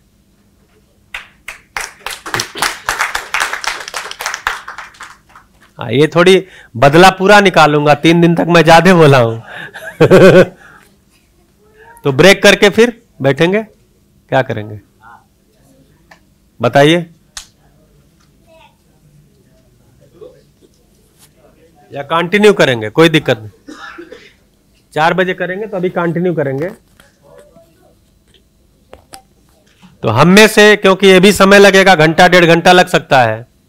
तो हम में से सभी लोग जो लोग तीन दिन सभी लोग आप सभा में रहे हैं जो भी एक बात दो बात जो भी पकड़ में आई है लेकिन बोलेंगे सभी लोग। ये मेरी अपेक्षा है। हाँ जी। अपने जगह से भी माइक में बोल सकते हैं या इधर आके बोलेंगे तो थोड़ा कैमरे के लिए भी सुविधा रहेगी। हाँ एक नंबर रोल नंबर एक से शुरू हुआ देखिए। नमस्कार। हाँ, हाँ जगह से ही बोलेंगे। हेलो हेलो नमस्कार। इन तीनों दिन दिनों में इस बार भैया है ना आपने जो भी बात रखी है ना वो ये आ, दर्शन पहले तो बहुत कठिन और गहरा लगता था लेकिन आपने जिस ज़रिए एग्ज़ाम्पल के ज़रिए हमारे सामने इस वक्त पेश किया है वो बहुत अच्छी तरीके से समझ में आया है। बहुत अच्छी तरीके से। बाकी दर्शन तो थोड़ा अघरा लगता ही है लेकिन इस बार थोड़ा ज़्यादा समझने में आ, आसान हुआ है। इसमें सबसे जो हर टच हुआ इस बार तो जो पौधे वाली बात की थी ना उसके ज़रिए कि जब हम हर कोई काम अपने लक्ष्य के प्रति लक्ष्य के लक्ष्य के साथ करेंगे तो वही रिज़ल्ट वाला हो गया। वो बहुत अ, अच्छी तरह से समझ में आया था। जी बढ़िया। रोल नंबर दो।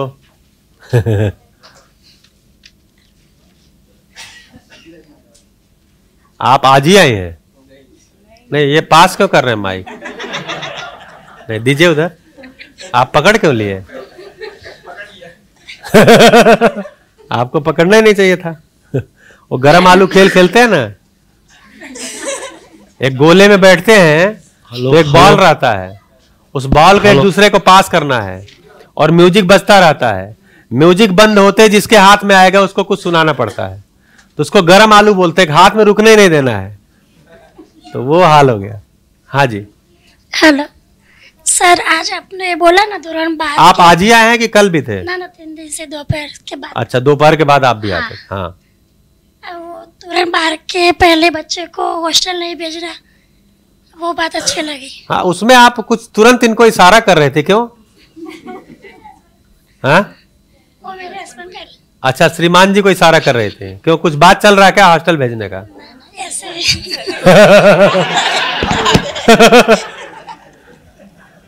कुछ इशारा ऐसे हुआ तो मैं कुछ, उस समय नहीं टोका क्योंकि फ्लो था।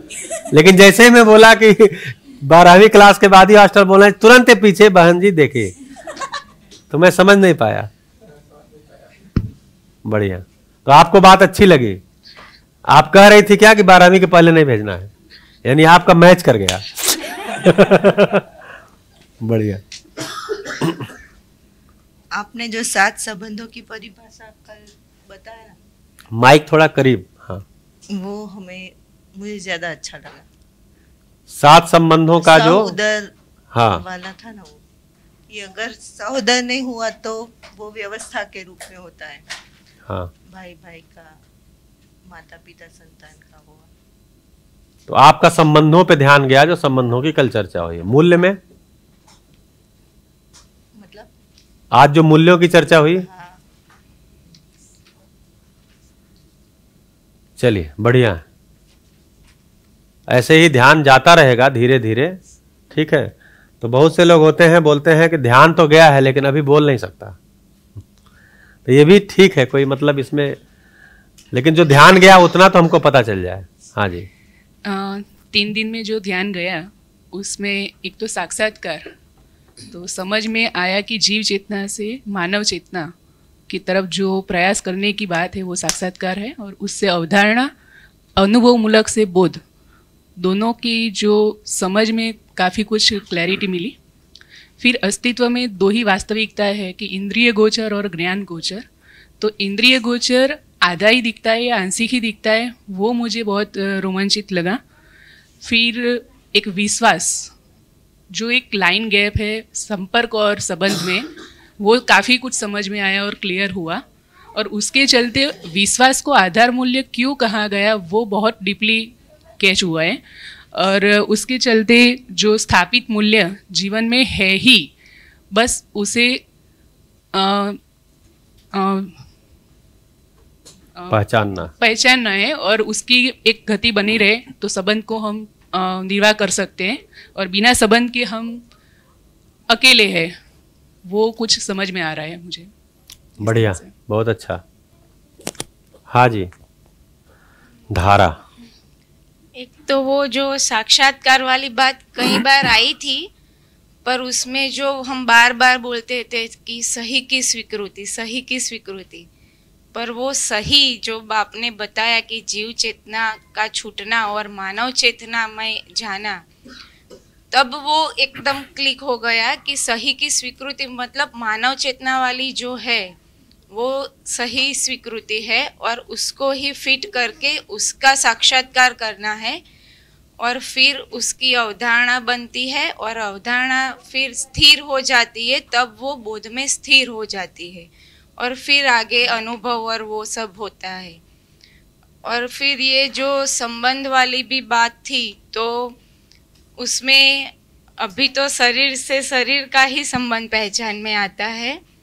तो फिर वो एक, एक भी ध्यान जाता है कि अब जीवन वाला जो पार्ट है उस पर ध्यान देना पड़ेगा शुरुआत में तो क्योंकि वो डायरेक्टली तो अभी शरीर वाला जो बहुत अभ्यास अभ्यास करना अभ्यास- पड़ेगा हाँ क्योंकि अभी तो वो है तो वो एक जीवन से जीवन का कनेक्ट देख पाएँगे, तभी मानव से मानव का वो हो पाएगा और तभी संबंध निर्वाह कर पाएँगे। और ये जो है, वो सब मूल्य तो वो भी, उसमें भी क्लैरिटी ज़्यादा हुई। और वो जो लक्ष्य के अर्थ में ही सभी मूल्यों को देखना था, वो इस बार ज़्यादा स्पष्ट हुआ। क्योंकि जो सभी मूल्य है वो डायरेक्टली इनडायरेक्टली लक्ष्य के आधारित ही है जागृति के आधार पर ही है। तो वो जागृति क्या है उसके लिए क्या करना है कैसे करना है और वो आगे बैठने वाले को ज़्यादा पकड़ में आता है। नहीं ध्यान देते हैं तो पकड़ में आता है आगे पीछे का तो कुछ होता नहीं है। तो वो एक बहुत ज़्यादा इस बार पकड़ में आया। बढ़िया। तो अभी कामनी बहन कल कह रही थी, किनसे बात हुआ था फ़ोन पे? कि वो बोली कि अच्छा हम लोग भी आ सकते थे क्या उसमें? बोली, मुझे नहीं पता था, मुझे लगा कि कंपनी के लोग ही केवल रहेंगे। आपसे हुआ था? आपका नाम क्या है? हैं? हाँ तो आपसे ही शायद बात की थी तो बोली कि अच्छा हम लोग भी आ सकते थे क्या? हमको नहीं पता था। हाँ जी। बढ़िया बहुत अच्छा धारा बहन अच्छी गति है। एक सबसे आगे एक सबसे पीछे। अभी आगे निकल गई है देखिए। नहीं वो आगे उन्हें देखकर ही हम पीछे पीछे आ रहे हैं। भैया जी आपने जो जीवन क्रिया लिए सारे हम्म। तो उसमें साढ़े चार क्रिया तो पता है लेकिन आज आज कल जो सुना हमने तो उसमें ज़्यादा डीप में गए कि कैसे होती है, साढ़े चार क्रिया भी कैसे होती है और उसके ऊपर भी जो क्रिया है।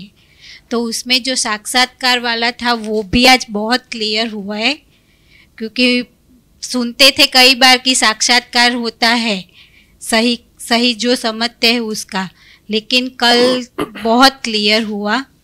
और उसके अलावा जो जो संबंध है तो संबंध भी इस बार बहुत से बहुत अच्छे से क्लियर हुआ है।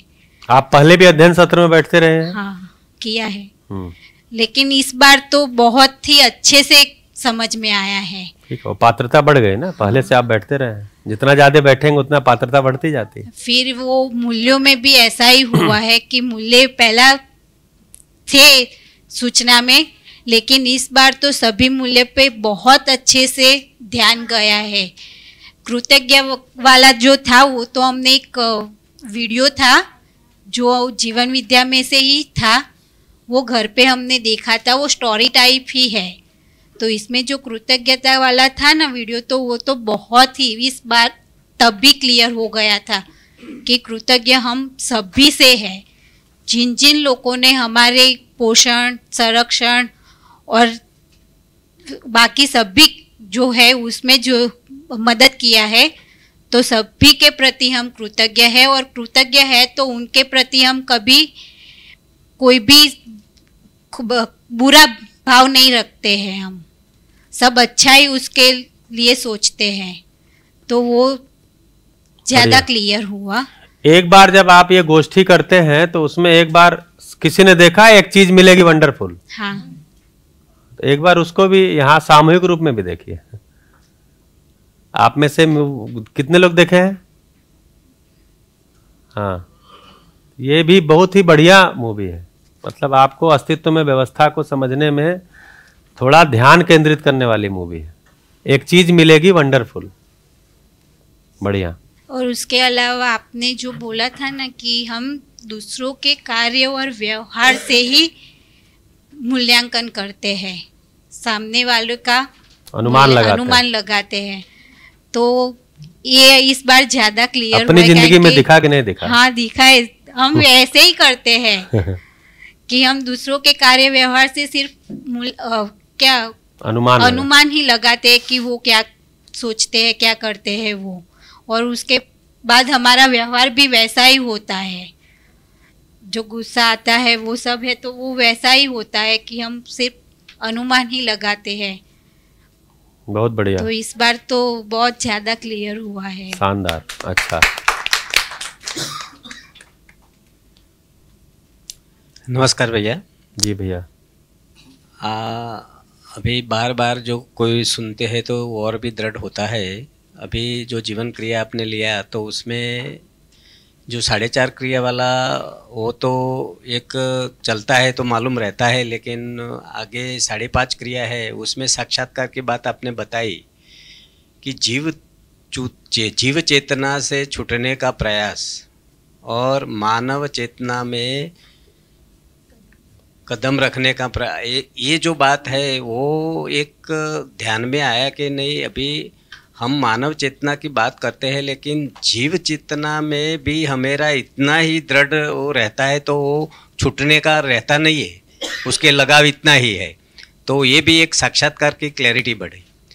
और आपने बताया था ना वो चार आदमी का एग्ज़ाम्पल सहअस्तित्व वाला कि जो वो चार आदमी इकट्ठे होके वो पौधा लगा पौधा लगाना हाँ। तो हर आदमी हर सोचता था सब अपना- तो अपना काम कर रहे हैं। अपना काम कर रहे हैं। लेकिन पौधा नहीं लग रहा। है लेकिन पौधा नहीं लग रहा है। तो वो अस्तित्व वाली वो बात है कि सह अस्तित्व। एक दूसरे के हम पूरक बन के जो काम करेंगे तो ही रिज़ल्ट आएगा। तो वो एक बड़ी बात पकड़ में आई। और एक आपने बताया कि ये हस्त हस्तक्षेप रहित और उपे, उपेक्षा रहित।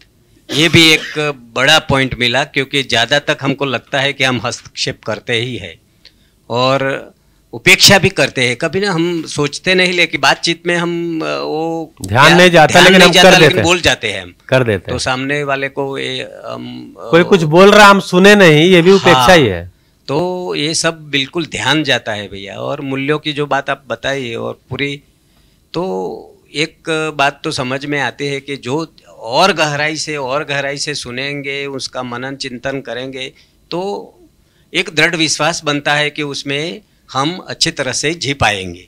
ये तो भैया एक दृढ़ विश्वास बनता ही है कि उसमें आने वाले समय में धीरे धीरे धीरे धीरे आगे बढ़ेंगे और अच्छी तरह से ये जर्नी में हम बढ़िया। तो दिनेश भाई के साथ में मतलब हापुड़ जाते थे तो मैं उस समय अध्ययन उस समय कराता था तो कर्म दर्शन और अभ्यास दर्शन दोनों अध्ययन भी हम साथ में किए हैं ना।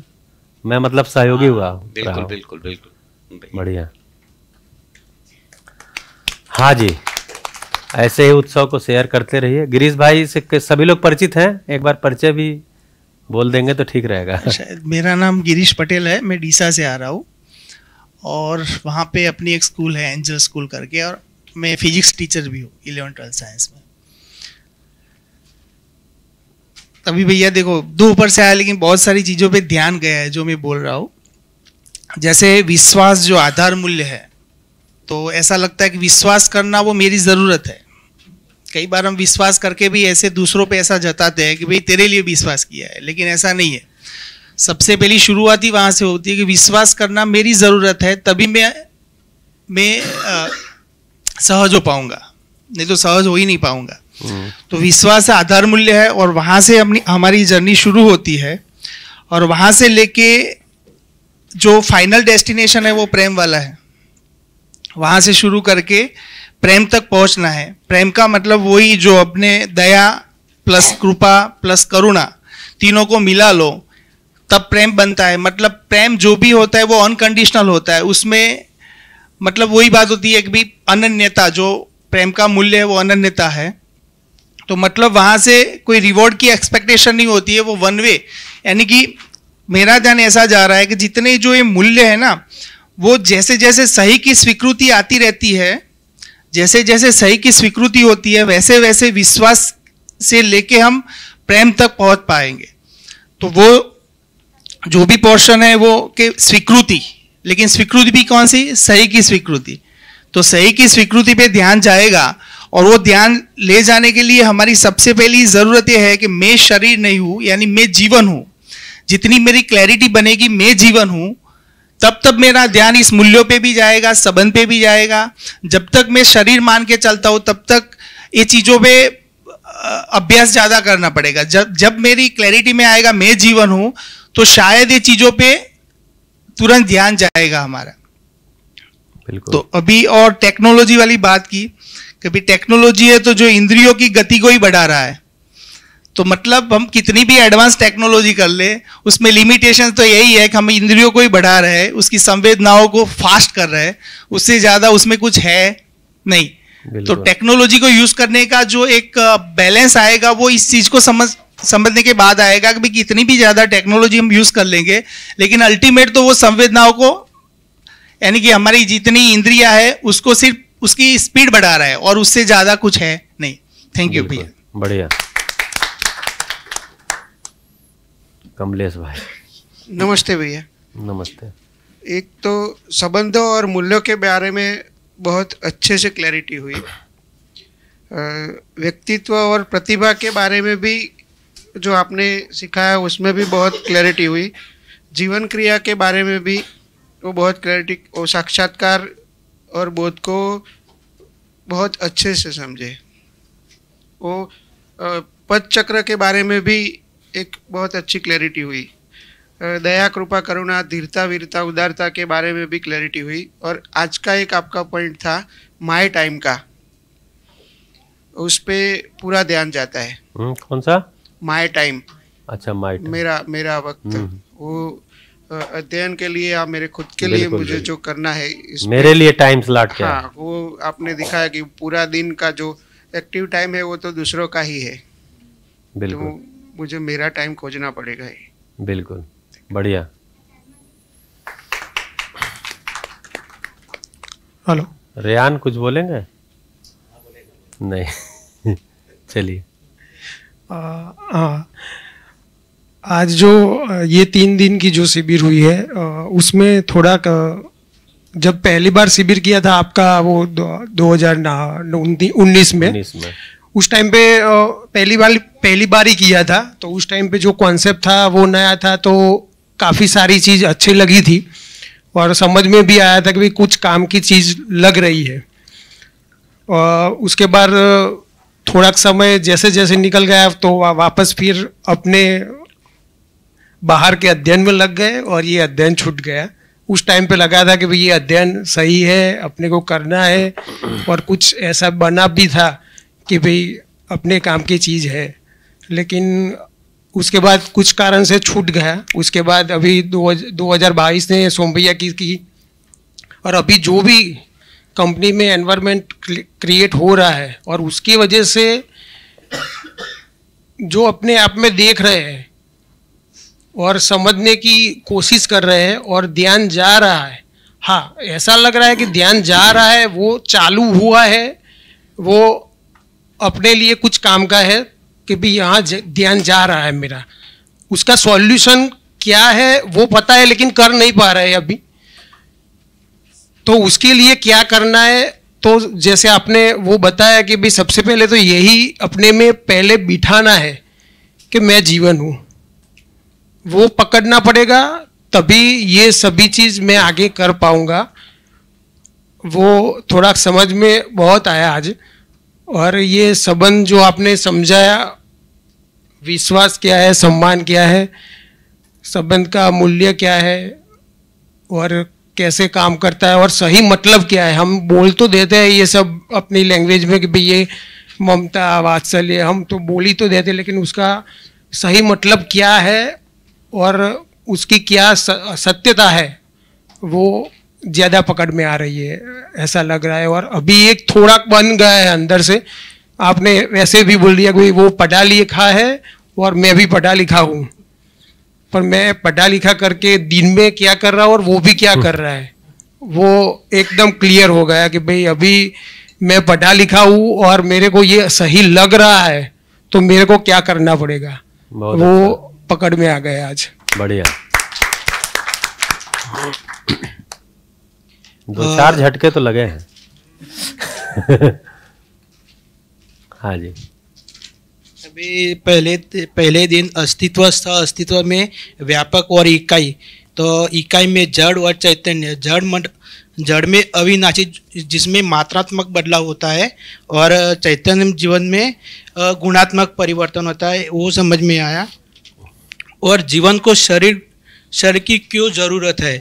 तो शरीर की ज़रूरत भोगने के लिए, समाधान के लिए, जागृति के लिए और उपकार के लिए, वो समझ में आया?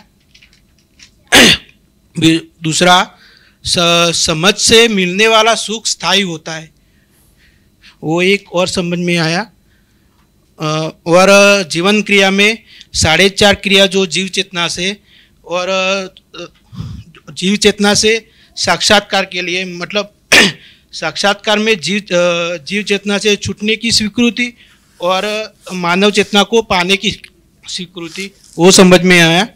और उसमें साक्षात्कार में प्रिय हित लाभ में से न्याय धर्म सत्य की गुणात्मक परिवर्तन होना वो एक समझ में है।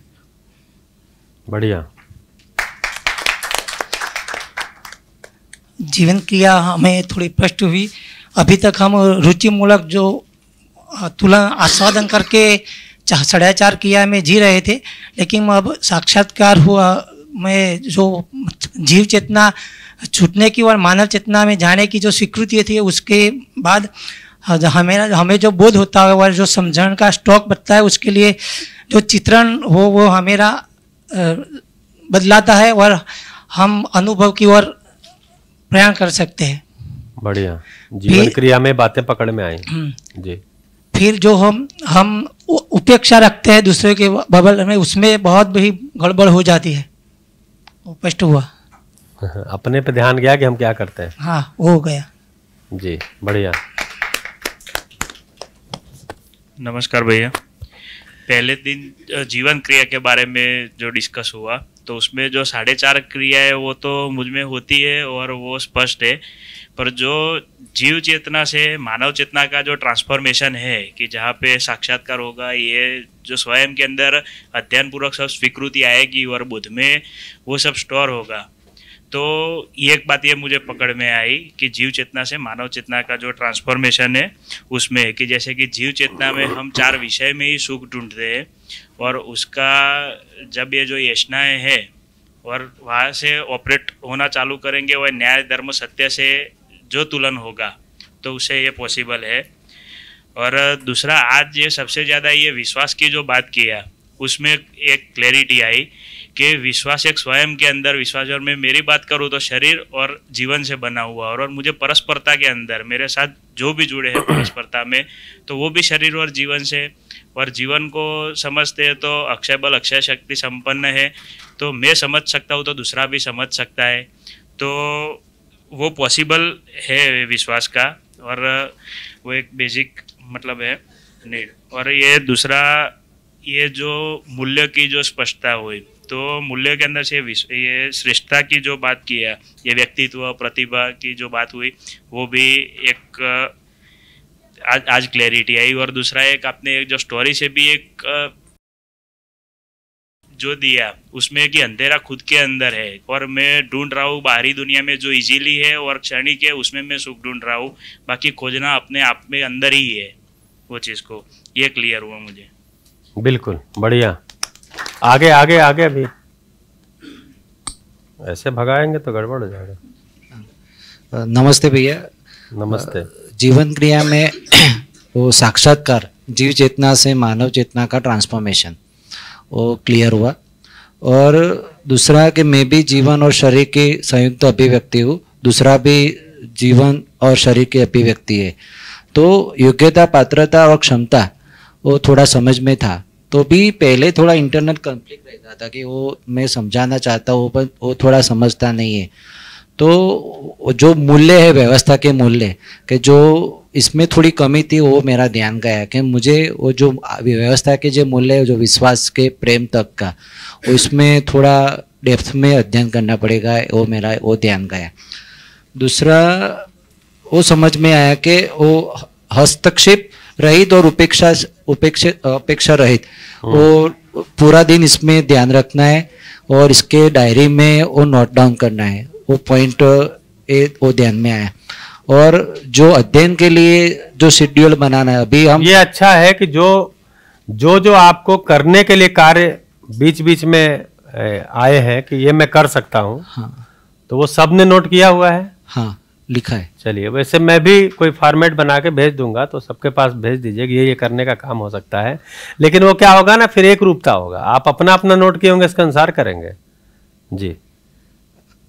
और हाँ और जो स्केड्यूल अभी हमारा वो मंडे गोष्ठी में और सोमवार बुधवार और शुक्रवार को गोष्ठी होती है यहाँ पे हम प्रेजेंट रहते हैं और मंगलवार को हमारी जो बाहर की गोष्ठी वहाँ पे प्रेजेंट रहते हैं। पर स्वयं के लिए एक दिन एक पर डे में एक डेढ़ घंटा इसके अध्ययन के लिए लगाना पड़ेगा ऐसा मेरा एक ध्यान जाता है। बढ़िया। उसे मैंने लिखा है। बढ़िया तो बीच में मैं एक सुना देता हूँ और कहने को तो कहानी है लेकिन वो हाँ थोड़ा टेस्ट बदलता भी रहे ना बीच बीच में। तो एक एक दिन कक्षा अध्यापिका ने, वही मैं ढूंढ रहा था इसमें, एक दिन कक्षा अध्यापिका ने विद्यार्थियों को अपने परिवार के किसी सदस्य के प्रति कृतज्ञता व्यक्त करने को कहा।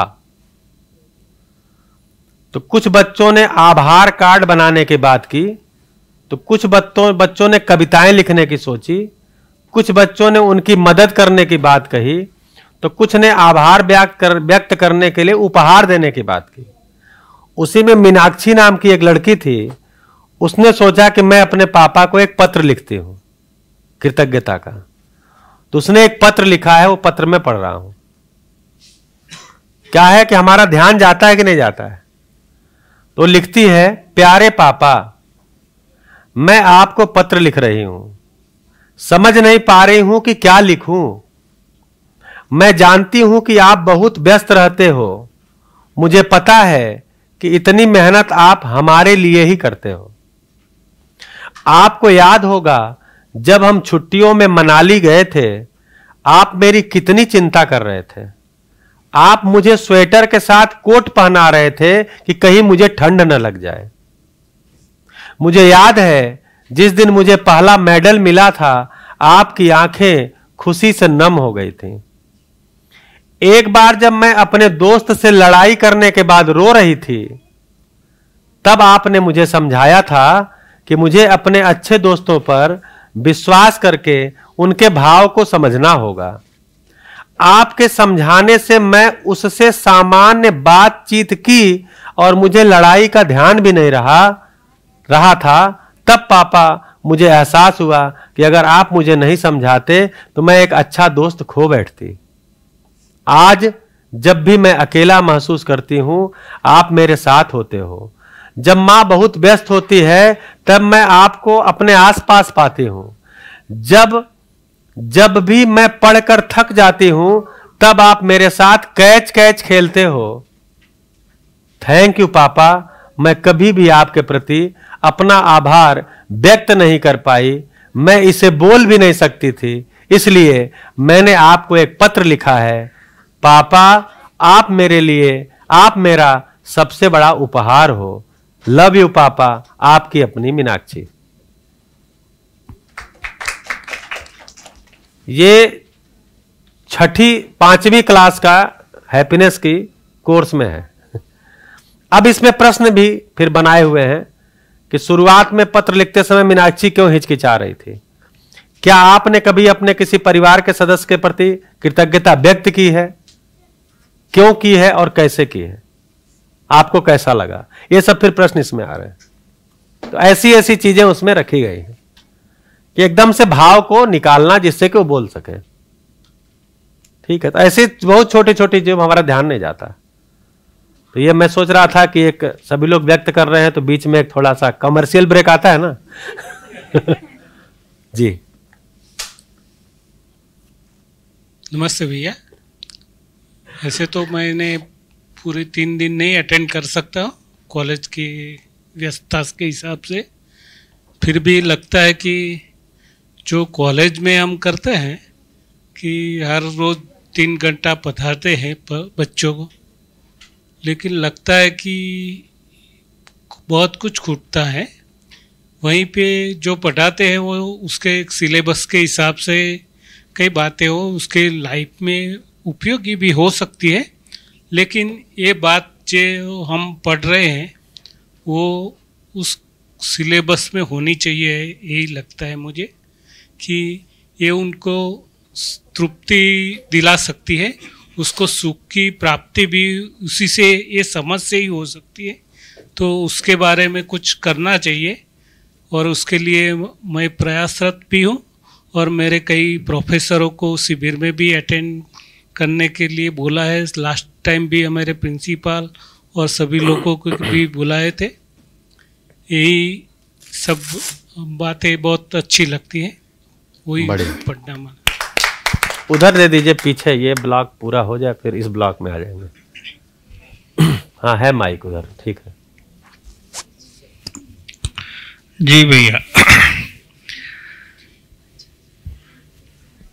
ये जो तीन दिन किया है, वो दूसरी, तीसरी बार शायद हो रहा है।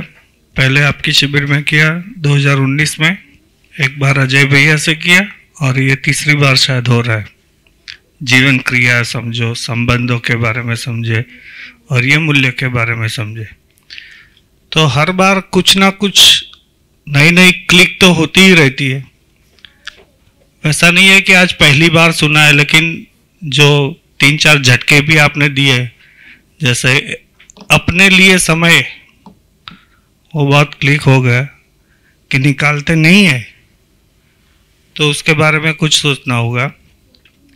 फिर ये आपने बोला कृतज्ञता वाली जो है ना, वो आज ऐसे क्लिक हो गया। जैसे पहले तो वही समझे थे कि जिसके पास से सहायता मिली है या कोई उपकार हुआ है तो उसके बदी कृतज्ञ भाव आता है। लेकिन आज जो उसका व्याप देखा है तो उसमें कुछ अलग क्लिक हुआ है कि स्वनियंत्रण आना चाहिए तो उसका कृतज्ञ भाव वो आज क्लिक हुआ।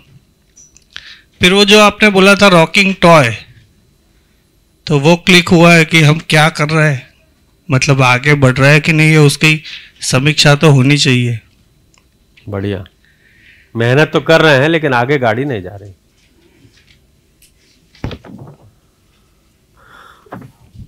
फिर ये जो आपने बाबा जी की दो बात बताई कि हस्तक्षेप रहित और उपेक्षा रहित मतलब कि पहले तो सुनना है सबको ये भी बहुत बड़ी बात है।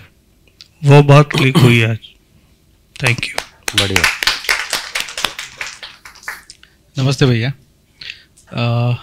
एक चीज़ प्रश्न और जिज्ञासा जो आपने बताया था वो दोनों का फ़र्क बहुत ज़्यादा समझ में आया कि प्रश्न जो है वो जिज्ञासा। वो वो दोनों में फ़र्क है। मतलब प्रश्न ही जिज्ञासा ऐसा ही समझता था मैं तो। तो वो एक फ़र्क आया। तो अभी प्रश्न करने की जगह पे और अच्छे से सुन के जिज्ञासा में कन्वर्ट कब हो पाएँगे या उस पर ज़्यादा ज़ोर लगाने की ज़रूरत है, ऐसा लग रहा है। जीवन क्रिया में साढ़े चार क्रिया के ऊपर में, बाकी की साढ़े पाँच क्रियाएँ है, उसमें और गहराई में, थोड़ा डिटेल में पकड़ में आया है। और ये जो व्यक्तित्व और प्रतिभा जो आपने सम्मान में बोला तो उसमें वो आहार विहार और व्यवहार, जीवन ज्ञान, अस्तित्व ज्ञान और मानवीय आचरण ज्ञान, ये तीनों में और मतलब क्या है कि उसका डिफरेंस और उसको कैसे मतलब आपने उसको लिंक किया है, वो एक क्लैरिटी हुई। और जो विश्वास वाली बात है। तो विश्वास स्वयं में और दूसरे में जो परस्परता के बीच मतलब उससे ही, क्योंकि मैं अक्षय बल, अक्षय शक्ति संबंध हूँ तो मैं भी समझ सकता हूँ और दूसरा भी परस्परता में अगर वो करेंगे तो उस पर ध्यान गया है। अभी वो पूरी क्लैरिटी नहीं हुई है तो वो एक अच्छे से ध्यान जा रहा है। और बाकी आपने जो सारे मूल्य बताए तो उसमें थोड़ी क्लैरिटी बढ़ी है। अभी भी सारे मूल्य अभी याद भी नहीं है लेकिन वो क्लैरिटी अच्छे से बढ़ी है उसमें। वो बढ़िया। उसमें मतलब अभी सुनने वाला काम थोड़ा बढ़ाएँगे तो और क्लैरिटी होने वाली है। अभी तो कुल मिला के बीस बाईस अट्ठारह अट्ठारह दो दो बीस बाईस मूल्यों की चर्चा हुई है। नहीं चार उनकी भी हो गई है। तो तीन चार मूल्य भी रह गए हैं और चर्चा कर लेंगे बाद में। जी भैया। तो एक तो सबसे पहले तो भैया जो जीवन क्रिया है तो जीवन क्रिया में साढ़े चार क्रिया अपने अंदर कैसे चलती है तो ये चीज़ तो देख पाते हैं, इसको रिलेट भी कर पाते हैं। और कहीं ना कहीं मतलब ज़्यादातर समय मतलब जैसे भी ध्यान जाता है तो साढ़े चार क्रिया में तुरंत चला जाता है। लेकिन जो ऊपर की साढ़े पाँच क्रिया थी उसकी स्पष्टता नहीं थी। इतनी। काफ़ी बार सुना है लेकिन फिर भी जैसे कहते हैं ना कि आ, हम बोल नहीं पाएँगे। सुना तो है लेकिन बोल नहीं पाएँगे। वो स्थिति थी। अभी इस बार भी ऐसा नहीं कहूँगा कि पूरा समझ में आया है लेकिन काफ़ी चीज़ें क्लियर हुई है। तो जैसे साक्षात्कार को हम कहते हैं कि जीव चेतना से मानव चेतना में परिमार्जन। तो जीव चेतना से, मानव चेतना में परिमार्जन होने से जो स्वीकृति होती है तो वो होती रहती है। ऐसा एक चीज़ ध्यान में गया कि जैसे जैसे ध्यान चला जाता है जैसे जैसे ध्यान होता रहता है तो वैसे अपने अंदर साक्षात्कार होता रहता है। और जैसे ही होता रहता है, एक समय पे पूरी जो कैनवास है वो क्लियर हो जाती है तो अपने अंदर बोध हो जाता है कि वो ये चीज़ है कि जिसमें स्वीकृति निरंतरता में अपने अंदर बनी हुई है, ये चीज़ मैं देख पाता हूँ। जैसे ही मेरे अंदर ये स्वीकृति बनी हुई है, ऐसा मैं देख पाता हूँ। तो मुझमें वो स्वीकृति पूर्वक जीने में विश्वास बनता है। उसी को हम संकल्प कहते हैं। और यही जो सही जीने सही करना, जिसको नाम दिया हम लोगों ने रितंबरा जैसे मुझमें विश्वास बना रहता है, स्वीकृति बनी रहती है निरंतरता में, उसी क्रिया में जैसे अनुभव होता है तो अनुभव होने के बाद मैं सबके प्रति प्रामाणिक हो जाता हूँ। जैसे कोई भेदभाव नहीं है कोई गैप नहीं है जो वस्तु जैसी है उसको पहचानने की मुझमें वो क्षमता आ जाती है और वही प्रामाणिकता है और वही मेरे जीने में दिखता है प्रमाण रूप में। बिल्कुल। तो ये जो साढ़े पाँच क्रिया है मुझे को मतलब पहले मैं बता नहीं पाता था लेकिन अब मुझे ऐसा लग रहा है कि ये इतना मैं जो बता पाया उससे उतनी स्पष्टता मेरे अंदर बहुत बढ़िया। और मैं देख रहा था आप जब कनेक्ट करके भाषा बना रहे थे तो मुझे लगा कि लिंकेज कर रहे हैं आप बहुत अच्छे ढंग से। बढ़िया। हाँ अभी ताली इसलिए नहीं बजाए कि आप अब नहीं आप अभी और बोल सकते हाँ। फिर जैसे फिर और ध्यान किस पे जाता है तो जैसे संबंध की भी बात करते हैं और संबंध के साथ साथ हम लोग मूल्यों की बात करते हैं। तो सात संबंध में अभी भी प्रश्न है उसको अपने अंदर जांचूँगा और देखूँगा। बाबा जी ने क्या लिखा है वो अभी तक नहीं पढ़ा है संबंध के बारे में। तो उसको एक बार पढ़ूँगा, फिर से एक बार डिस्कशन करना होगा तो करेंगे। मूल्यों की बात करते हैं तो मूल्यों के केस में पहले भी मूल्य इवन ये अठारह मूल्य की बात करें तो जो स्थापित मूल्य है, उसमें काफ़ी स्पष्टता थी। शिष्ट मूल्य में अभी भी नहीं है। स्थापित मूल्य के बारे में अगर कहेंगे तो विश्वास, सम्मान तो पहले ऐसा लगता था कि ये समझ में आ चुका है। लेकिन अभी जब बैठा तो ये चीज़ हम मेरे ध्यान में आई कि कहीं ऐसा लगा कि जो वो पजल में पीस सॉल्व करते हैं ना तो वो पीस उल्टा लगा दिया था और लग रहा था कि सही सही है लेकिन इस बार फिर से इस पर ध्यान गया है और वो प्रश्न एटलीस्ट वो फिर से खड़ा हो गया है कि उसको फिर से उसी में उसी ढंग में जांचना है कि जहाँ पर अपने में वो स्पष्ट हो जितना स्पष्ट नहीं है उतना। जैसे विश्वास की बात करते हैं सम्मान की तो बोलने में मतलब कह पाते हैं सम्मान के रेफरेंस में भी कह पाते हैं। लेकिन जो चीज़ हम लोग कहते हैं कि आ, दूसरों का सही सही मूल्यांकन व्यक्तित्व और प्रतिभा की स्वीकृति ही सम्मान है। तो जैसे सम्मान की बात करते हैं तो जो व्यक्तित्व और प्रतिभा की या तो फिर दूसरों का जो मूल्यांकन है तो वो मूल्यांकन अपने अंदर होता है, अपने अंदर ही स्वीकृति है, अपने अंदर ही सम्मान है। वो अपना है कि दूसरों का है, लेकिन है अपने अंदर ही, और विश्वास भी अपने अंदर है, ये चीज़ स्थिर हुई है। लेकिन फिर भी वो जो स्थिर हुआ है, लेकिन उतना क्लियर शायद से नहीं है कि जैसे अभी मतलब एकदम जो क्रिस्टल क्लियर बोलते हैं ना उतना सभी मूल्य उतना क्लियर नहीं है। कुछ दो तीन मूल्य में काम ही वही करना है। वही। वो क्लियर हो जाए वही तो काम करना है। तो उस पे इस बार भी ध्यान गया है। थोड़ा पहले जो पहले जो क्लैरिटी थी उसके रेफरेंस में ऐसा लगता है कि क्लैरिटी बढ़ी है। लेकिन फिर भी अभी मूल्यों पे मुझे ऐसा लग रहा है काम करना है। मतलब कुछ कुछ चीज़ें ऐसी है कि जिस पे ऐसा लगता है कि अपनी पकड़ है। लेकिन अभी ये चीज़ ऐसी है कि जहाँ पर और लगता है काम बिल्कुल। जैसे मूल्यांकन की जब हम बात करते हैं तो मूल्यांकन तभी कर पाएँगे जब हमको सही का पता चल जाएगा पूरा। तो एक्चुअली अभी हम सम्मान का अभ्यास कर रहे हैं। जब मूल्यांकन सटीकता तो तभी आएगी अनुभव में। ठीक है तो अभी हम सम्मान का अभ्यास कर रहे हैं। ठीक है बढ़िया है। ऐसे ही धीरे धीरे आगे बढ़ेंगे हम लोग। बढ़िया। क्योंकि साक्षात्कार तो मूल्यों का ही है। आज हो जाएगा तो आज ही साक्षात्कार पूरा हो जाएगा। ऐसा चाह रहे नहीं आज ही हो जाए। बढ़िया। नमस्ते भैया जी। नमस्ते। मुझे स्थापित मूल्य और शीर्ष मूल्य अपने थे जो ये वाले जो आपने लिखे इसमें सबसे ज़्यादा आज मेरे को जो क्लैरिटी हुई है नाम से तो सारे मालूम है पर डिटेल में आज देखे तो आपने जो चार्ट बनाया था कि दो लोग हैं, एक की गति यहाँ तक है, दूसरे की ज़्यादा है, और उसके अंदर आपने जो गौरव था, फिर कृतज्ञता वो सब जो समझाया मतलब वो मेरे अंदर मतलब आज आज ही मतलब प्रॉपर डेफिनेशन बोलते वो ऐसी क्लैरिटी हुई। पहले ऐसा था कि डेफिनेशन आती है, नाम आते हैं, पर वो अंदर गौरव था किसको एक्चुअली अपन बोलते वो वाला नहीं था। और दूसरी बात कि अभी शिष्ट मूल्यों में तो अभी भी वैसे भी नहीं है जैसे हिमांशु भाई ने बोला। क्योंकि ये वाले जो मूल्य है इस ये सब अपने को हर रोज यूज़ होते शिष्ट में क्या है ना कि अपने आचरण में आना है। आना है। बढ़िया।